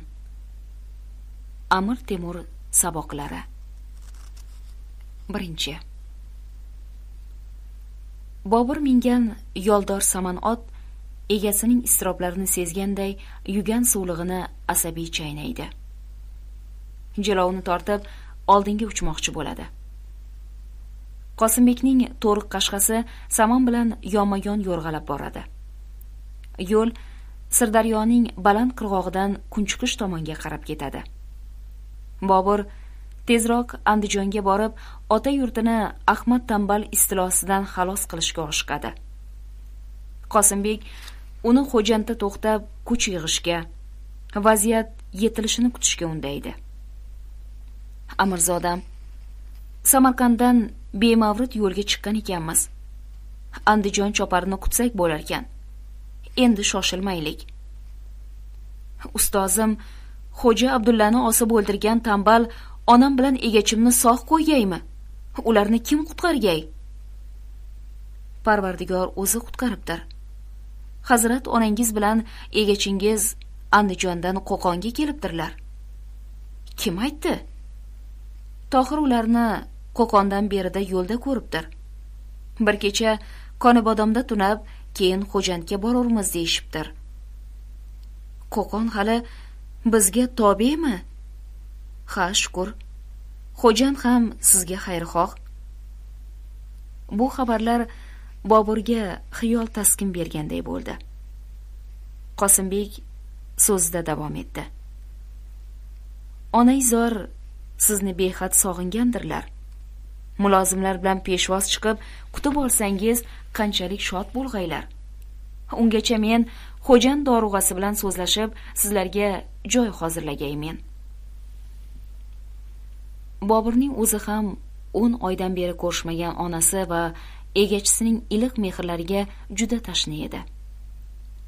Qosimbekning so'nggi taklifi ma'qul tushib mulozimlari va ikki yuztacha qo'riqchi navkarlari bilan xo'janddan konibodom yo'liga chiqdi. Qayroqqumdan berida tuya va hachirlarga ko'ch ortgan karvon ko'rindi. Karvon ortida sandiqlar yuklangan katta g'ildiraklik qo'qon aravalar ham kelmoqda. Ularning hammasini to'rt besh yuz kishilik otliq navkarlar uch tomondan qo'riqlab yo'l yurmoqda. Xon qizi bo'lgan qutlug' nigor xonimning besh yuzdan ortiq xos navkari borligi boburning yodiga tushdi. Oldingi qatordagi qo'riqchilar orasida bo'z ot minib kelayotgan qutlug' nigor xonim boburni sallasiga qadalgan tojdorlik belgisidan tanib otini o'g'li tomon yeldirdi. Ona bola va egachi ini otlardan tushib quchoqlashib ko'rishar ekanlar goh xonamondan ayrilish alamlarini goh diydor ko'rishish quvonchlarini ichlariga sig'dirolmay ko'zlariga dam badam yosh olishar edi. Yana otlanib xo'jandga yetgunlaricha ko'rgan kechirganlarini bir birlariga so'zlab berishdi. Tanbal asoratidan qanday qutuldilaringiz so'radi bobur onasidan. Mana shu qo'riqchi navkarlarim tanbalni biz turgan joyga yaqin keltirmadi. Men yunusxonning qizimen. Inim mahmudxon toshkent tojdoridir. Agar ahmadbek bizga ziyon yetkazsa xonlar oldida javob berur deb orada turgan odamlarga aytdim har qalay gapim ta'sir qilibdi. Besh gaz chiqib keldik. Afsus men bundan bexabar qoldim. Chopar kechikdi. Biz ham shunisiga kuyinurmiz boburjon. Siz bizni deb samarqandni jangsiz topshiribsiz. Shu tarzda dardlashib xo'jandga yetib keldilar. Shahar dorug'asi nufuzli a'yonlari bilan qo'rg'on darvozasidan chiqib bobur va uning onasini ehtirom bilan kutib oldilar. Bu qadimiy shahar xalqi chingizxon bilan mardona olishgan temur malik davridan beri mo'g'ul bosqinchilaridan ko'p jabr ko'rgan. Hozir ham toshkentda hukmron bo'lib olgan chingiziylar xo'jandga xavf solib turardi. Buning ustiga andijon ham ahmad tanbalday zolimlarning qo'liga o'tgan paytda xo'jandliklar bobur kabi temuriy shahzodalar himoyasiga ehtiyoj sezardi. Shuning uchun shahar dorug'asi boburni oliy darajada e'zozlab sirdaryo sohilidagi ulkan bog'ini ikki oshiyonlik qasri bilan uning ixtiyoriga berdi. Qosimbek boburga uning onasi va egachisiga ikkinchi oshyondagi eng yaxshi xonalarni tayyorlatib qo'ydi. O'zi beku mulozimlar va qo'riqchi yigitlar bilan birinchi qavatni egalladi. Hammalari narsalarini joylashtirib tinchiganlaridan so'ng ikkinchi oshyondagi katta tanobiy uyda bobur onasi va egachisi bilan yakkama yakka qolib boshqalar oldida aytilmaydigan dardu alamlarini to'kib soldilar. Tole bizdan yuz o'girdi dedi bobur uh tortib. Tanbalning o'n ming qo'shini bor emish rostmi? Rost. Nobakorlar sizni samarqandda vafot etdi deb ovoza tarqatdilar dedi qutlug' nigor xonim. Behush yotganingizni ko'rib kelgan choparni guvoh qilib ko'rsatib ko'p odamni bunga ishontirdilar. Shundan so'ng tarafdorlaringiz ma'yus bo'lib tanbal bilan jahongirga bo'yin egdilar. Qosimbek ham xato qilganki meni behush ahvolda ko'rgan navkarni samarqandda to'xtatib turmagan. Buni sir tutmoq kerak edi. Hozir bizning bir yarim mingga yetar yetmas navkarimiz qoldi. Ularning ham ko'pi vodiydagi uylariga ahli oilasiga talpinur. Xo'jandda ko'p turolmay tarqab ketgay. Men endi qaysi kuch bilan tanbalga qarshi boray? Bu ne ko'rgulikki bir barakay ham samarqanddan ham andijondan mahrum bo'ldik. Ikki mulk orasida muallaq qoldik. Najot yo'q. Atrofimiz zim ziyo qorong'ilik. Boshi berk ko'cha. Bobur jigarbandlariga dil yorib so'zlar ekan ilojsizlikdan ko'ngli ezilib ruhi qiynalar. Ko'zlariga yosh quyilib kelardi. Yaqindagina og'ir xastalikdan turgan o'n olti yoshlik o'g'lining bunchalik ezilib qiynalishlari qutlug' nigor xonimni iztirobga soldi. Boburjon bolam shukurki sog' salomat ko'rishdik. Xayriyat tuzalib ketibsiz. Bar'aks tuzalmay turganim ma'qul edi. Samarqandni tashlab chiqmas edik. Bunday og'ir kayfiyat bilan yolg'iz o'g'li yana uzlikib yotib qolishi mumkin. Xavotirlangan ona boburga taskin beradigan uning ko'nglini ko'taradigan chora izlay boshladi. Shunda qizi xonzoda begim yordamga keldi. Onajon amirzodamni mamnun qiladigan noyob bir sovg'amiz bor edi ku qaysi sovg'a? Shahnishinning orqasidan topilgan maxfiy sandiqchi. Ha aytmoqchi. Qutlug' nigor xonim o'g'liga yuzlanib ovozini sirli tarzda pasaytirdi. Boburjon sizga atalgan buyuk bir meros topildi. Yuring ko'rsatay. Qutlug' nigor xonim boburni va qizini o'zi joylashgan narigi tomondagi xonaga boshladi. Bobur onasi bilan yonma yon borar ekan uning bo'yi shu o'n oy ichida xiyla o'sganini. Bobur tez ulg'ayib o'n olti yoshida dev qomat pahlavon yigit bo'layotganini sezgan qutlug' nigor xonim ichida yaratganga yana bir shukrona aytib qo'ydi. Ayvoni sirdaryoga qaragan bahavo keng xonaga kirdilar. Gilamlar beqasam ko'rpachalar to'shalgan xonaning to'rida silliq charm qoplangan sandiq ko'rindi. Uchovlari shu sandiqqa yaqinlashganlarida qutlug' nigor xonim boburga qarab dedi. Esingizdami otangiz sizga bobokalonimiz amir temurdan qolgan noyob meros bor. Asrab avaylab yuribmen katta bo'lganingizda berurmen der edilar. Ha otam bizga sohibqiron bobomiz haqida ko'p g'aroyib hikoyalar ham aytib berganlar. Bobokalonlariga ixloslari zo'r edida vafotlaridan keyin o'shal merosni axsidan izladim. Topolmadim. O'tgan hafta andijonda kuch yig'ishtirgan paytimizda xonai xosning devoriga osilgan turkman gilamini olsak usti shuvalgan tuynukning izi ko'rindi. Tuynak orqasidagi maxfiy joyga mana shu sandiq berkitilgan ekan. Qutlug' nigor xonim namoz o'qigan paytidagi kabi ezgu bir tovush bilan sekin bismillohir rahmonir rahim dedi da sandiqni ochdi. Undan nafis ipak matoga o'ralgan oltin sopli qilichni ikki qo'llab olib o'g'liga ko'rsatdi. Sohibqiron amir temurning qilichlari.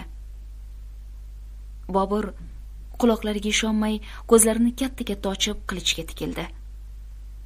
Rostdanmi? A? Yozuvlari bor. Oling bolam o'qib ko'ring. Qilichning qini yengil bir ma'dan qotishmasdan quyma qilib yasalgan.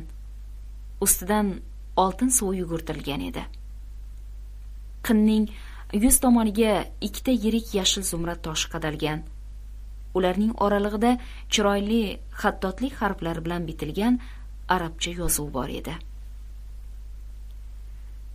Bobur qilichni onasining qo'lidan ikki qo'llab oldi da yozuvni ko'zlariga yaqin keltirib o'qidi. Biz kim? Maliki turon. Podshohi turkiston amir temur ko'ragon farzandimiz. Mironshoh mirzoga to'xtamish bilan muhoribada ko'rsatgan jasorati uchun o'z qilichlarimizdan birini in'om etdik. Bobur bu qilich dastasiga amir temurning qo'li tekkanini balki sohibqiron uni janglarda ishga solganini ko'z oldiga keltirib hayajonlanib ketdi. Birinchi yo'l. Qilich unga og'ir emas edi. Bobur uni beliga taqqanda atrofidagi hamma narsa ko'ziga boyagidan boshqacha allanechuk sokin va salobatli ko'rindi. Onajon siz menga yangi bir ruh ato qildingiz. Bobokaloningizning ruhi sizga madadkor bo'lsin o'g'lim. Bu qilichni mironshoh bahodirdan so'ng otangizning otalari sulton abu said bahodir taqqan ekanlar.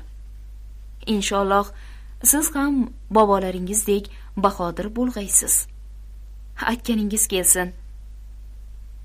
Xudo rahmati abu said bobongiz vafot etganlaridan so'ng qolgan meroslari o'g'illari orasida taqsim etilur. Katta o'g'illar oltinu javohir to'la sandiqlarni talashib olurlar. Ammo sizning jannatmakon otangiz mana shu sandiqdagi qilich bilan xotirotlar bitilgan daftarlarni afzal ko'rurlar. Chunki bu xotirotlarda amir temur hazratlarining ko'rgan kechirganlari bitilmishdir. Xonzoda qizim siz o'qib ko'rdingiz shekilli. Ha sohibqiron bobomiz yigitlik paytlarida chingiziylar hukmronligiga qarshi chiqqan ekanlar. El yurt samarqandda temurbekni o'z hukmdorlari deb e'lon qilgan ekan. Chingiziylarni yurtimizdan quvmoqchi bo'lganlar ko'p ekan. Bundan g'azablangan tug'luq temirxon bilan uning o'g'li ilosxo'ja mo'g'ulistondan ellik ming qo'shin bilan kelib temurbek tarafdorlarini qirg'in qilurlar. Temurbekning o'zi qoraqum qizilqum sahrolarida hisoru badaxshon tog'larida olti yil quvg'inda yurib kuch to'playdilar. Bobur bu hodisalar haqida otasidan ham ko'p maroqli hikoyalar eshitganini esladi. Ayniqsa temurbekning suyukli yosh xotini o'ljoy turkon og'a bilan eng og'ir damlarda birga bo'lgani. Goho xotinini otiga mindirib o'zi qum sahrosida piyoda yurganlari yosh boburga kuchli ta'sir qilgan edi. Shuni biladigan xonzoda begim inisiga mehri toblanib tikildi. Sizda ham sohibqiron bobokaloningizdagi jo'mardlikdan bor amirzodam dedi. O'shdagi tajovuzdan meni qutqarganingizni umrbod unutmagaymen. Bo'lajak kelinimiz oyisha begimni siz samarqanddan yog'iy asoratidan xalos qilib bizga xayrixoh toshkentga kuzatib qo'yibsiz. Bu ham bir jo'mardlik emasmi? Yetti oy qamal azobini tortgan samarqandliklarga oshlik tarqatibsiz. Urug'ligi qolmagan dehqonlarga bahorda urug'lik keltirib beribsiz. Bu hammasi dilingizda adolat tuyg'usi kuchli ekanidan dalolatdir. Belingizdagi qilichga sohibqiron bobokaloningizning kuch adolatdadir degan hikmatlari bejiz bitilmagan. Ahmad tanbalning o'n ming askari bo'lgani uchun u hozir men kuchlimen deb yuribdir. Ammo yolg'onning umri qisqa. Ahmad tanbal andijonni aldamchilik bilan egalladi. Sizni o'ldi deb ovoza tarqatdi. Siz sog' salomat qaytganingizni odamlar hademay bilurlar. Tanbalning yolg'oni fosh bo'lur. Uning zolimligidan hamma bezor bo'ladigan kunlar kelur. Ana o'shal kunlar kelguncha sabr bardoshli bo'ling boburjon dedi onasi. Sohibqiron bobongiz mana shu xo'jandga ham necha bor kelganlar? Sirdaryodan necha marta o'tganlar? Vaziyat yetilishini yillar davomida kutganlar? Axiyri adolat g'olib chiqqan kunlarga yetganlar? Siz ham yetursiz. Ishoning. Ishondim onajon. Siz bilan egachim mening dilimda o'chib qolgan umid chiroqlarini qayta yondirganday bo'ldilaringiz. Minbad men doim sohibqiron bobokalonimizdan saboq olib ish tutgaymen. Onasi in'om qilgan buyuk meros chindan ham boburning dilini ravshan qilib yuborgan edi. Ular kelib tushgan bog'da o'riklar oppoq bo'lib gullagani endi uning ko'ziga tashlandi. Daryo bo'yidagi qalin chakalakzorda bulbullar basma bas sayrayotgani qulog'iga chalindi. Ayvonga chiqqanda kechki shabada yuziga ipakday mayin salqinlik berdi. Ikkinchi. Ammo bu mas'ud damlardan keyin kelgan kunlar oylar hatto yillar lomakonlik va sargardonlikda o'ta boshladi. Sohibqiron bobokalonidan saboq olib yashashga ahd qilgan bobur buning qanchalik qiyin bo'lishini o'z boshiga og'ir kunlar tushganda bildi. U onasi in'om qilgan sandiqdagi xotirotlarni takror takror o'qib sohibqiron bobosini yigitlik paytidagi ismi bilan xayolida temurbek deb atashga o'rgandi. Temurbek yigirma besh yoshida samarqand va shahrisabzdagi xonimonidan judo bo'lgani va ota yurtining to'rt tomoniga bosh urib najot izlagani boburning hozirgi ahvolini eslatardi. To'g'ri. Temurbekka tajovuz qilgan ilosxo'ja va amir bekchiklar ahmad tanbaldan yuz chandon qudratliroq va xatarliroq edi. Ular temurbekni tutib olib o'ldirish uchun minglab odamlarni safarbar etadilar. O'lim xavfi yillar davomida temurbek bilan izma iz yuradi. Qoraqum sahrosidan narida xiva bo'sag'asida temurbek oltmish yigiti bilan ming kishilik yov qurshovini qo'lda qilich bilan yorib chiqib qutulib ketadi. Endi o'n yetti yoshga kirayotgan bobur hali bunday dahshatli xatarlarga duch kelgan emas. Faqat ota yurtidan ayrilib lomakon bo'lib yurgani va ahmad tanbalga bas kela oladigan kuchli qo'shin yig'ish nihoyatda mushkul bo'layotgani uni qiynaydi. Boburning ishongan odamlari yashiriqcha andijonu axsiga marg'ilon va o'shga borib kelmoqda. Xayrixohlar ko'p ammo yurak yutib maydonga chiqadiganlar kam. Boburning o'zi ham bu yog'i isfara va konibodomga u yog'i zomin va jizzaxgacha janubda o'ratepa shimolda toshkentgacha hamma joyga bir necha marta borib keldi. Bir yarim yildan beri qishni qish yozni yoz demay yo'l bosdi. Sirdaryodan qayta qayta suzib o'tdi. Qishda muzni teshib cho'milgan paytlar bo'ldi. Uning o'ziga o'xshab chiniqqan yigitlari temurbekning hisor tog'larida afsonaviy g'orlarda yashab toblangan yigitlarni eslatadi. Biroq navkaru sardorlari bilan bir joyda uzoq vaqt mehmon bo'lib turishga yuzi chidamaydi.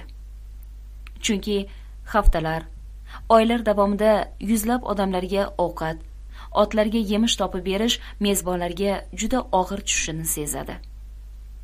Shuning uchun onasi va egachisini xo'janddan o'ratepaga xolasi xo'p nigor xonimning uylariga keltirib qo'ydi. O'zi uch yuzga yaqin beku navkarlari bilan janubdagi tog'larga chiqib ketdi. Ovchi deb ataladigan bir qishloq yaqiniga chodir va o'tovlar tikishib ancha vaqt ov o'ljalari bilan ro'zg'or tebratishdi. Ovchi qishlog'iga tor bir daradan o'tib boriladi.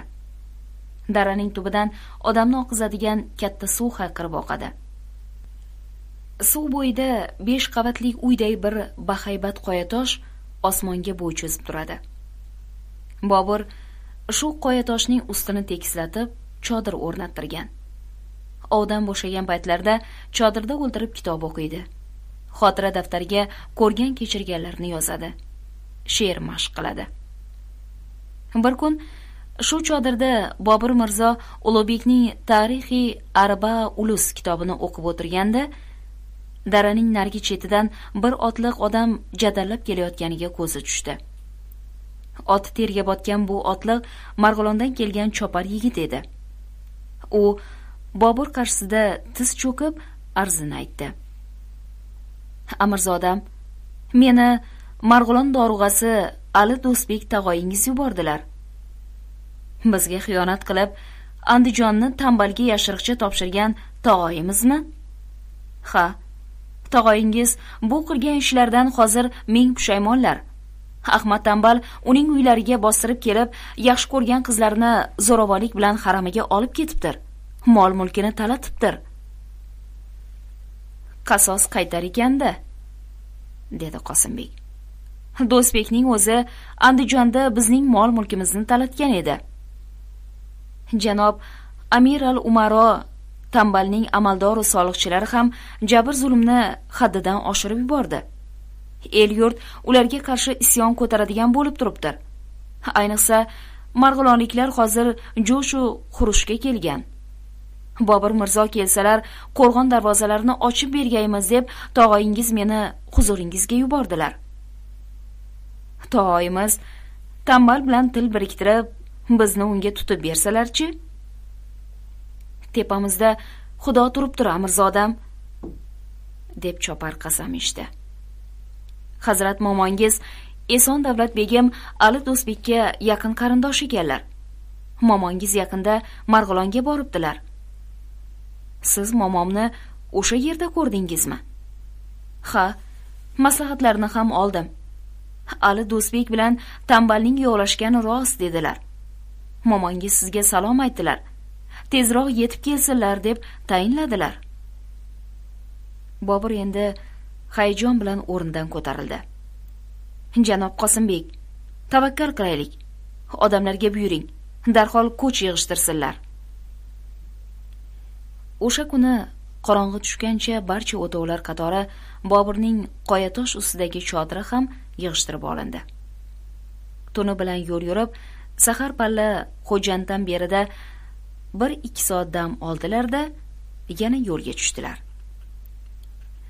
To'rt kunlik yo'lni bir yarim kunda shitob bilan bosib o'tdilar. Marg'ilondan berida isfayramsoy shovullab oqmoqda. Sahar palla edi. Soy bo'yida birpas to'xtadilar. Bobur soy suvidan tahorat olib ikki rakat namoz o'qidi. Joynamoz ustida o'ltirib sohibqiron bobo kaloniga bag'ishlab tilovat qildi. Ulug' ajdodlar ruhidan madad so'rab yuziga fotiha tortdi. So'ng tong qorong'usida marg'ilon qo'rg'onining yopiq darvozasi oldiga keldilar. Ali do'stbek darvoza qorovulxonasida ularni kutib o'ltirgan ekan. Darvozani to'rt enlik ochib qo'rqa pisa boburga murojaat qildi. Amirzodam andijonda qilgan gunohlarim uchun afv so'raymen. Tanbal hammamizni aldagan ekan. Minbat sadoqat saqlay olurmisiz? Shiddat bilan so'radi bobur. Qur'oni karim oldida so'z berurmen. Umrbod sodiq qulingiz bo'lurmen amirzodam. Faqat meni inoyatlaringizdan mahrum qilmasangiz bas. Inoyatlar istaganingizdan ham ziyoda bo'lg'usidir. Oching darvozani. Bu buyruqni ali do'stbek darhol ado etdi.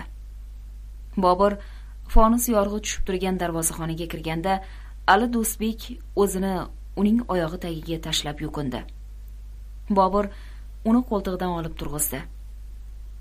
Ma'zursiz. Tanbalning sodiq odamlari bo'lsa hozir uyquda tuttirmoq kerak. Uning talonchilar uxlab yotgan joylarini bilurmen.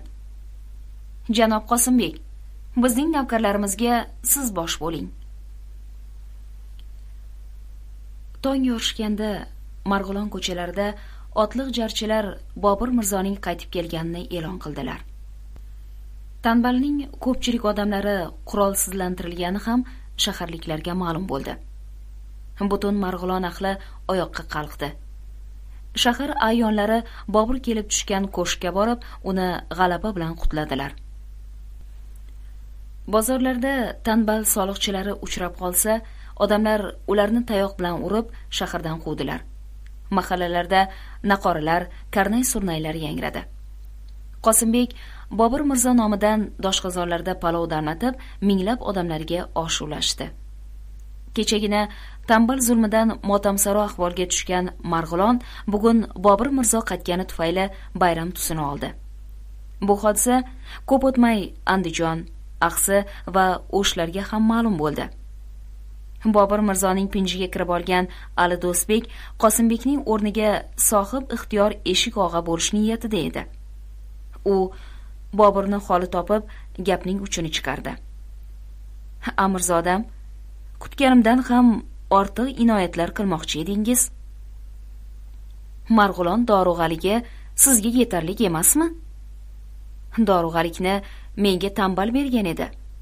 Endi bundan kattaroq inoyatni sizdan kutmoqda men qani andijonu o'shlar ham bizga qayta nasib qilsa keyin o'ylab ko'rurmiz ittifoqo o'shdan qambarbek keldi. O'shliklar ham sizga muntazir emishlar. Ammo hozir andijondan yomon xabar oldik. Ahmad tanbal katta qo'shin to'plab marg'ilon tomonga bostirib kelmoqda. Unday bo'lsa o'shga qosimbek sizdan vakil bo'lib borsin.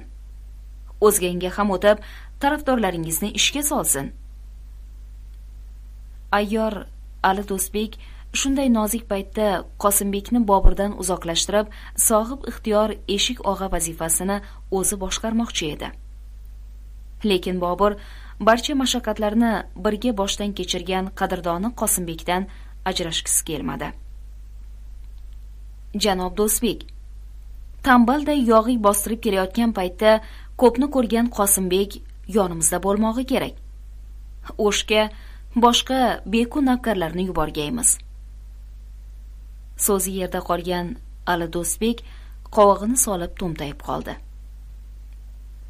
Qosimbekning o'z odamlari bilan marg'ilonda qolgani yaxshi bo'lgan ekan. Tanbal andijondan katta qo'shin bilan marg'ilonga hujum qilib kelganda barcha kuchlar birlashib himoyaga chiqdilar. Marg'ilondagi beku navkarlar qo'rg'ondan tashqaridagi mahallalar va qishloqlardan yig'ilgan minglab botir yigitlar yordamida tanbal qo'shinini uloqtirib tashladilar. Bu orada quvariklar tanbalga orqadan zarba berdilar. O'sh va o'zgan xalq ham tanbalga qarshi isyon ko'tarib boburga ko'mak yubordi. To'rt tomondan o't ketgan tambal tezroq andijon qo'rg'oniga qaytib borib jon saqlamoqchi bo'ldi. U andijonga nosirbek degan kishini dorug'a tayinlab kelgan edi. Ahmad tanbal marg'ilonda boburdan yengilib talvasaga tushib kelayotganini eshitgan andijonliklar nosirbekning qarorgohini o'rab oldilar. To'rt tarafdan hayqiriq va xitoblar eshitila boshladi. Ahmad tanbal daf bo'lsin darvozadan kiritilmasin bu zolim. Bobur mirzoga odam yuboring tug'ilgan yurtig'a tezroq qaytsin. To'ydik chingiziylardan bobur kelsin. Agar dorug'a yana tambalga yon bossa qo'rg'on darvozalarini biz o'zimiz bobur mirzoga ochib bergaymiz. Toshgan daryoday to'lqinlanayotgan bir necha ming kishilik izdihom nosirbekni qo'rqitib yubordi. Xaloyiq tinchlaning menga quloq soling. Oralaringizda mo'ysafidlar bor. Mana mening yonimda shayxul islom janoblari turibdilar. Mo'ysafidlar jomiy masjidiga borsinlar. Qurollangan yigitlar bizga yordamga kelsinlar. Darvozalarni darhol bekitgaymiz. Tambalni andijonga kiritmagaymiz. Juma namozida bobur mirzoning nomini xutbaga qo'shib o'qigaymiz. Keyin buning xabarini mo'tabar odamlar orqali bobur mirzoga yetkazgaymiz. Toki ul zoti oliy andijonga izzat ikrom bilan qaytib kelsinlar. Shunga rozimisizlar bu reja amalga oshdi-yu. Ertasi kuni andijonliklar bobur mirzoni qo'rg'on darvozasi oldida karnay va naqorilar chalib kutib oldilar. U minib kelayotgan gulibodom otning oyog'i tagiga gilam poyandozlar to'shadilar. Bobur shodlikdan ko'zlari yoshlanib yonida kelayotgan qosimbekka so'z qotdi. El yurtda adolat bor ekan a? Ha mehru oqibat ham kuchli ekan. Faqat yuzaga chiqishi oson bo'lmas ekan. Shukur mas'ud kunlarga yetishdik. Shu tarzda andijondan quvilgan ahmad tanbal qolgan qutgan odamlari va ko'ch ko'roni bilan axsiga yo'l oldi. Biroq axsida ham tanbalga qarshi isyon ko'tarilgan bobur tarafdorlari qo'rg'on darvozalarini egallashgan. Tanbalga sadoqat saqlab turgan axsi dorug'asi uzun hasan arkka kirib bekingan edi. Bobur va qosimbekning qo'shini so'nggi vaqtlarda besh mingdan ham oshib ketdi. Ular andijonda ko'p to'xtamay bandisolor yo'li bilan axsiga yetib bordilar va arkdagi uzun hasanni asir oldilar. Bu xabarni eshitgan ahmad tanbal mustahkam qo'rg'onlardan biri bo'lgan popga qarab chekindi. Ammo u yetib borgunicha bobur tarafdorlari pop qo'rg'onini ham berkitib ahmad tanbalni darvozadan kirgizmay quvdilar. Ahmad tanbal g'ovi orqali chotqol tog'lariga qarab chekindi. Uning so'nggi umidi katta akasi tilba sultondan va toshkent xoni mahmudxondan edi. Tilba sulton xon saroyida so'zi o'tadigan eshik og'a ekanini bobur bilardi. Ahmad tanbal farg'ona vodiysini talon talosh qilib orttirgan boyliklardan katta bir qismini ohangaron orqali toshkentga mahmudxonga sovg'a qilib yuborgani ham xufiyalar ma'lumotidan ma'lum edi. Lekin mahmudxon qutlug' nigor xonimning akasi bo'la turib jiyani boburning ashaddiy dushmani ahmad tanbalga yon bosishi mumkin emasday tuyulardi. Shuning uchun bobur qo'shini ahmad tanbalni chotqol tog'i etagigacha ta'qib etib bordi. Kun sovuq yo'llar toyg'oq. Kechki payt tanbal besh yuztacha askari bilan arxion degan joydagi qo'rg'onga kirib bekindi. Bu qo'rg'on devorlariga shot qo'yib oshib o'tish mumkin edi. Kech kiryapti. Qorong'i tushmasdan tezroq harakat qilaylik dedi bobur. Ammo shotilarni o'n chaqirimcha beridagi g'aznai namangandan keltirganlaricha g'ira shira qorong'i tushdi. Kechki izg'irinda og'izdan chiqqan hovur uzoqdan ko'zga tashlanadi. Navkarlarning qo'li qovushga kelmaydi. Gapirganda lablari ham qiyinlik bilan harakatlanadi. Amirzodam deb ali do'stbek boburga arz qildi. Qorong'i tushib qoldi. Yovni o'zimiznikilardan ajratish qiyin bo'lg'ay. Qamalni ertalabdan boshlaylik. Ungacha tanbal qochib ketsa-chi? So'radi bobur. Qochib qayoqqa borgay? Naryog'i tog' dovon bekilgan. Tambalning akasi tilba sulton archaken dovoni orqali inisining oldiga kelib ketibdi-ku dedi qosimbek. Ne bo'lganda ham endi tambal ilikka tushmog'i kerak dedi bobur. Arxion qo'rg'oni atrofiga chodirlar tiktiring. Ming kishi tuni bilan qorovullik qilsin. Ertadan besh ming kishi bilan devorga shotlarni qo'yib hamla qilurmiz. Bosh ustiga. Deb ali do'stbek bu farmonni bajarishga kirishdi. Qosimbek bobur uchun shu atrofning eng obod va ko'rkam joyi bo'lgan g'aznai namanganda qarorgoh tayyorlata boshladi. Toshkent namangan andijon. Chingiziylar yana hukmron bo'lmoqchi. Birinchi. Qirchillama qishda samur po'stin va qunduz telpak kiygan mahmudxon xonai xosda eshik og'a tilba sulton bilan yakkama yakka suhbatlashmoqda. Osmonni quyuq bulut qoplagan. Kunduz kuni bo'lishiga qaramay xonai xosdagi qandillarda shamlar lipillab yonmoqda. Mahmudxon sham yorug'ida tilba sultonning yuziga tikilib qaradi-yu, uning ozib ketganini payqadi.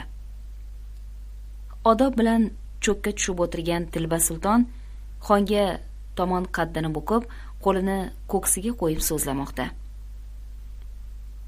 Shu sovuq kunlarda dovon oshib Farg'ona vodiysiga ikki marta borib keldim, xon hazratlari. Archekin dovoni pastroq ekan. Undan oshib o'tib qosonsoyga qishda ham borsa bo'lar ekan. Qorli dovonlardan qayta qayta oshib o'tish oson bo'lmagani tilba sultonning sovuqda qorayib ketgan ko'sanoma yuzidan qalin lablarining u yer bu yerni izg'irin yorib yuborganidan bilinib turardi.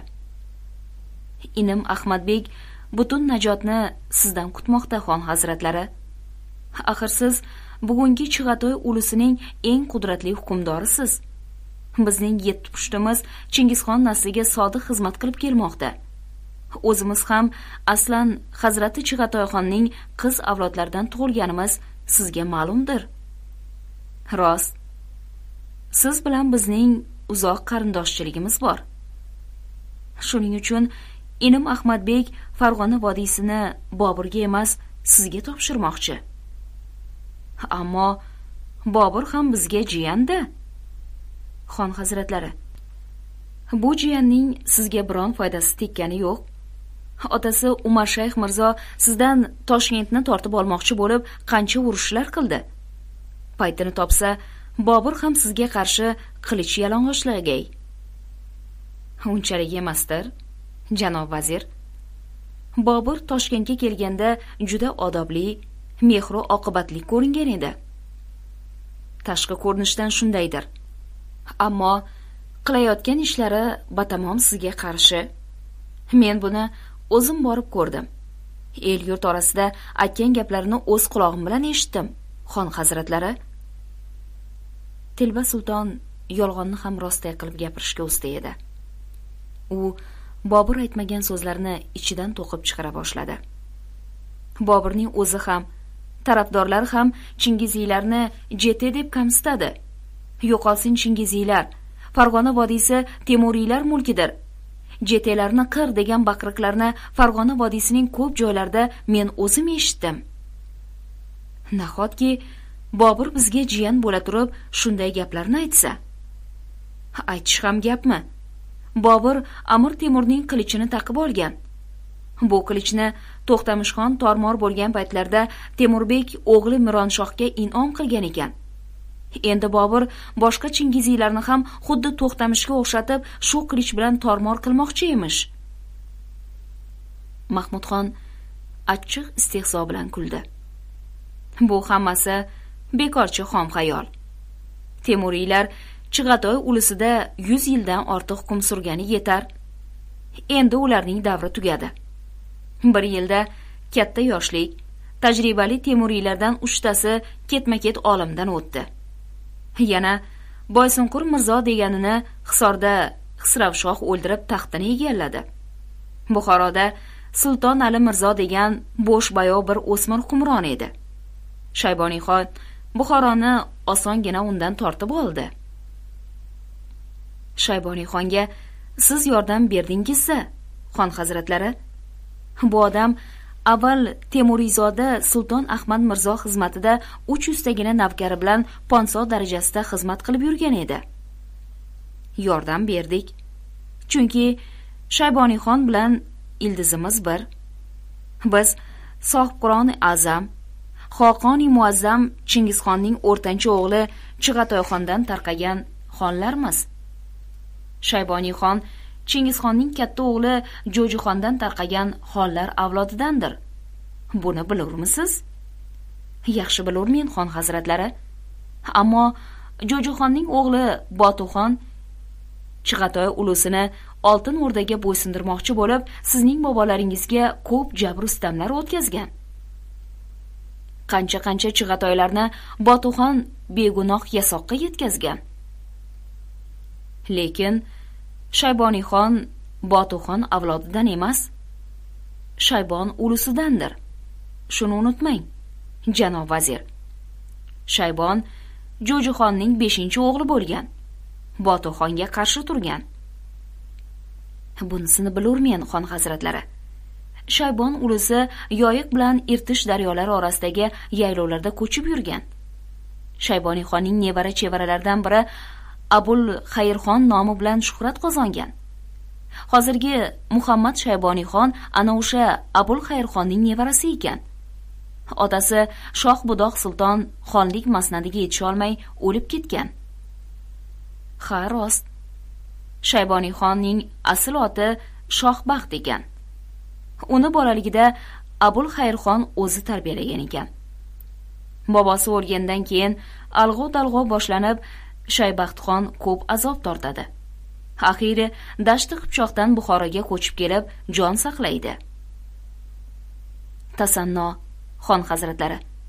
Buxoroda temuriylar xizmatida bir bek bo'lib yurgan shoh baxtxon sizning ko'magingizda qaddini tiklab kimsan shayboniyxon bo'ldi ya lekin shayboniyning o'zi ham kallasi yaxshi ishlaydigan pishiq dovyurak odam ekanda.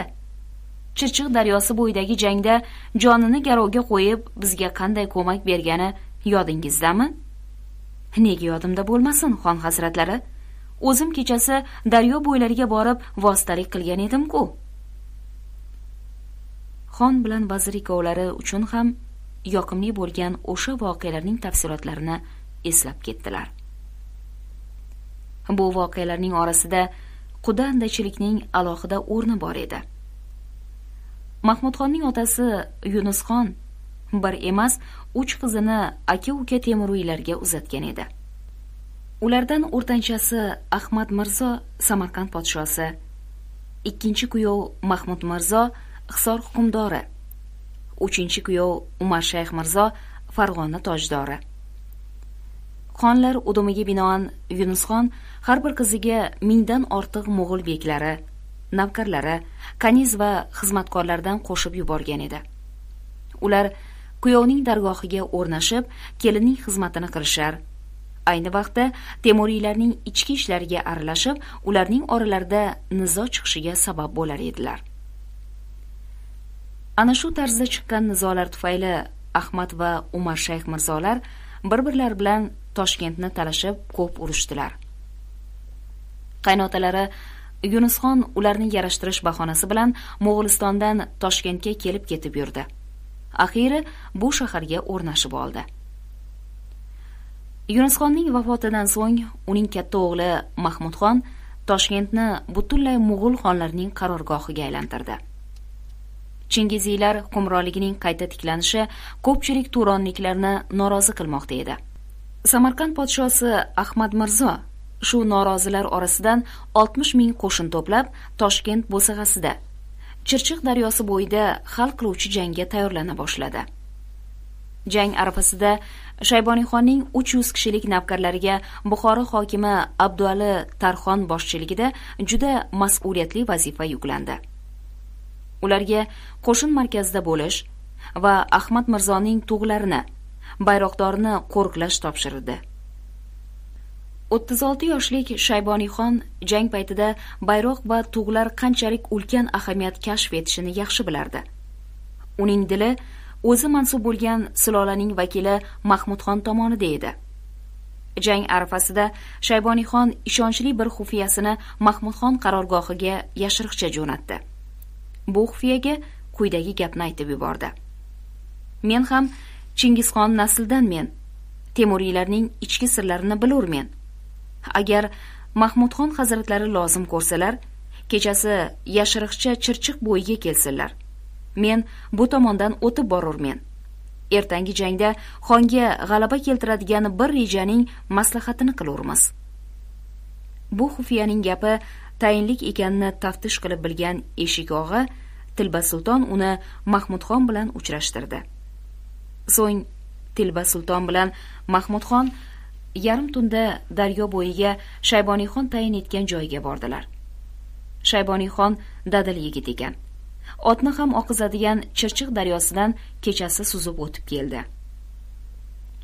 Ahmad mirzo noshud sarkarda dedi u mahmudxonga uning ishongan amiri abduali tarxon ertaga bo'ladigan jangda markazga g'ulga tayin bo'ldi.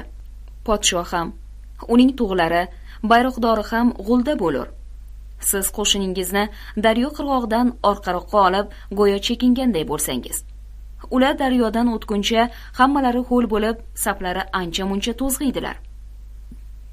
Shunda men uch yuz navkarim bilan ularning bayroqdorlarini urib yiqitib siz tomonga qochib o'tgaymen. Bayroq yerga tushib oyoq osti bo'ldimi? Qo'shin yengilgan hisoblangay.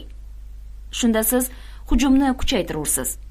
Men ham navkarlarim bilan sizlar tomonda ahmad mirzoga qarshi jang qilgaymen. Yog'iyning orqasida toshqin daryo. Qochganlarning allaqanchasi suvga cho'kib halok bo'lur. Shayboniyxonning bu rejasi mahmudxonga ma'qul tushdi. Ertasi kuni jangda o'sha rejaga amal qilgan mahmudxon ahmad mirzo ustidan g'alaba qozondi. Shundan keyin mahmudxon dadillanib o'ratepani ham ahmad mirzodan tortib oldi da u yerga o'zining qadrdoni bo'lgan mug'ul dug'lat amiri muhammad husaynni hokim qilib qo'ydi. Chirchiq bo'yidagi jangda katta xizmat ko'rsatgan shohbaxt shayboniyxon mahmudxondan mukofot kutmoqda edi. Mahmudxon uni o'z huzuriga chaqirib shunday dedi. Turkiston shahri hamon temuriylar ilkida holbuki biz chingiziylar bu joylarni chig'atoyxondan meros olgan edik. Xon hazratlari mening bobom abulxayrxon ham turkiston shahrini o'ziga mulk qilgan edi. Chunki po'lat varaqqa bitilgan ahdnomaga binoan xonlik masnadiga faqat chingizxon avlodlari munosib ko'rilgan. Temurning bobokaloni qorachor no'yon bu ahdnomaga imzo chekkan. Ilohiy tangri oldida xonlik da'vosidan voz kechgan. Doim xonlar xizmatida lashkarboshi amir bo'lib xizmat qilishga so'z bergan. Amir temur ham o'zini xon deb atamagan-ku. O'zini xon deb atamaganu lekin xonlarni qo'g'irchoq qilib o'ynatgan dedi shayboniyxon alam bilan.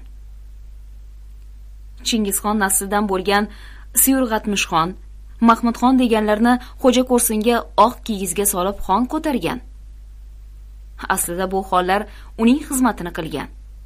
Faqat to'xtamishxon temur bilan dadil olishgan ammo omadi kelmay yengilgan. Oltin o'rda yer bilan yakson qilingan.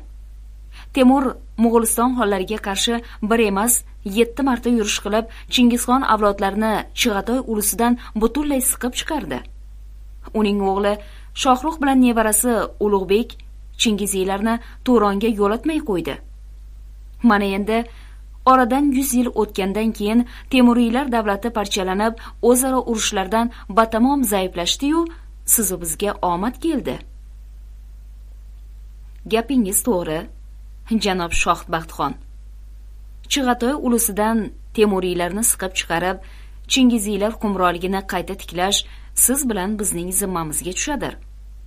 Sayramu turkistonlar ham ikki yuz yil davomida chingiziylar tasarrufida bo'lgan. Keyin amir temur yassaviy maqbarasini qurib bu yerlarga ega bo'lib oldi. Hozir ham turkiston temuriylarga sadoqat saqlab turibdir. Men sizga uch ming kishilik sara qo'shin beray. Bobongiz abul xayrxonning mulkini temuriylardan qaytarib oling. Minnatdormen xon hazratlari. Turkistonni temuriylardan tortib olib sizning davlatingiz tarkibiga qo'shish mening orzuyimdir siz barcha chingiziylarga rahnamo bo'lgaysiz. Mening ezgu niyatim sizning yo'lboshchiligingizda chingiziylarning ulug' saltanatini qayta tiklamoqdir. Mana bu niyat tahsinga sazovor janob shohbaxtxon. Ammo zamonlar o'zgardi. Siz bilan biz ham chingizxon davridagi mo'g'ullar emasmiz. Islomni qabul qildik. Turkiy til ona tilimizga aylandi. Mana siz madrasada o'qidingiz. Biz ham forscha arabcha o'rgandik. Kiyim kechak oziq ovqat uy tutish hayot tarzi hammasi o'troq turkiy aholinikidan farq qilmagani yaxshi bo'ldi. Chunki bu hammasi bizning turon zaminga otgan yangi ildizlarimizga aylandi. Ammo o'q ildizimiz chingizxon naslidan ekanligimizdir gap qo'shdi shohbaxtxon. Ha ana shu o'q ildizni mahkam tuting. Ammo turon zaminga otgan yangi ildizlaringizdan ham oziqlaning. Mening dilimdagi gapni aytdingiz. Xon hazratlari. Men o'z atrofimga to'rondan ham dashti qipchoqdan ham barcha turk mo'g'ul qavmlarini yig'moqdamen. Bularning biri qipchoq biri nayman biri qo'ng'irot biri jaloyir ammo hammalarini o'ziga o'zi bek o'zbek degan chiroyli nom bilan atasam ko'pchiligiga ma'qul tushdi. Oralarida qur'onni menchalik yaxshi qiroat qiladigan imomlari yo'q. Shuning uchun hammalari meni imomi zamon deb tan olurlar. Ko'pchilikning boshini qovushtirish uchun nimaiki zarur bo'lsa hammasini qiling. Eng muhimi ahillikdadir o'zaro urushlar temuriylarning boshiga yetmoqda. Siz bilan biz bir yoqadan bosh chiqarsak islom bayrog'ini temuriylardan ko'ra balandroq ko'tarsak barcha musulmonlar bizga ergashgay. To'g'ri aytdingiz hazratim. Hozir bobokalonimiz chingizxonning mafkurasi bilan ish yuritib bo'lmagay. Endi faqat islomning sunniy mazhabi bizga mos kelur. Mahmudxon shayboniyxonning bu fikrini ham ma'qul ko'rdi. Ularning maslakdosh ekanliklari ayniqsa shayboniyxonga qo'l keldi. Mahmudxonning yordami bilan shayboniyxon avval turkistonni so'ng buxoroni noshud temuriyzoda sulton ali mirzodan tortib oldi. Vaziyat yetirishi bilan shayboniyxon samarqandni ham egallaydi. Uning homiysi mahmudxon bundan mamnun. Shayboniyxonga rahnoma bo'lib butun turonda undan so'ng xurosonu eronlarda ham chingizxon avlodlarining shoni shuhratini davlatu hokimiyatini qayta tiklash mahmudxonning eng ulkan orzusidir. Buni yaxshi bilgan tilba sulton ilohim ana shu orzuingiz tezroq ro'yobga chiqsin xon hazratlari deb tilyog'lamalik qila boshladi. Siz sohibqiron azam chingizxonning dahosini meros olgansiz. Ona tomondan iskandar zulqarnayn avlodlaridan ekansiz. Muhtarama volidangiz shohbegim menga so'zlab berdilar. Ha ona tomondan bobomiz shoh muhammad hazratlari buyuk yunon podshosi iskandar zulqarnaynning pomirda qolib ketgan avlodlaridan ekanlar. Rahmatli otamiz yunusxon shoh muhammad hazratlari bilan badaxshonda tanishgan ekanlar. Qarang xon hazratlari xudo suygan bandasiga qo'sha qo'sha qilib berar ekanda. Hali kelajakda badaxshon ham sizga meros bo'lib qolg'ay. Toshkentu andijonu farg'onalar sizga buyuk chingizxondan merosdir. Inim ahmadbek farg'ona vodiysida orttirgan boyligini to'qqiz tuyaga yuklab sizga in'om qilib yuborgani shu boisdandir oltinu javohir kimxobu atlas ko'rdim. Ahmadbekning saxovati durust. Lekin u haligacha norasida bir temuriyzoda jahongir mirzo xizmatida yurgani g'alati. Bu hammasi noilojlikdan xon hazratlari. Qani edi siz katta o'g'lingiz xonikaxonni inim ahmadbekka yordamga yuborsangiz birgalashib temuriyzodalarni daf qilsak ana unda farg'ona vodiysi sizning o'g'lingizga tobe bo'lg'ay. Ahmadbek to o'lguncha sizgayu o'g'lingizga sodiq xizmat qilg'ay. Mana bu reja haqida o'ylab ko'rsak bo'ladi dedi mahmudxon. Boburga avom xalq tarafdor bo'lib isyon ko'targani bizning odamlarni vodiyning shaharu qishloqlaridan quvib chiqargani menga yoqmaydi. Siz ming bora haqsiz xon hazratlari mening inim ahmadbek o'sha avomlarning yo'lini to'sib turibdir. Agar ahmadbek mag'lub bo'lsa bu isyonlar shunday tog'dan oshib toshkentga yetib kelishi muqarrar. Bu yerda ham temuriylar davrini qo'msab yurgan alamzadalar oz emas. Buni xufiyalar axborotidan ham bilursiz. Oltinchi kasseta birinchi yo'l tugadi.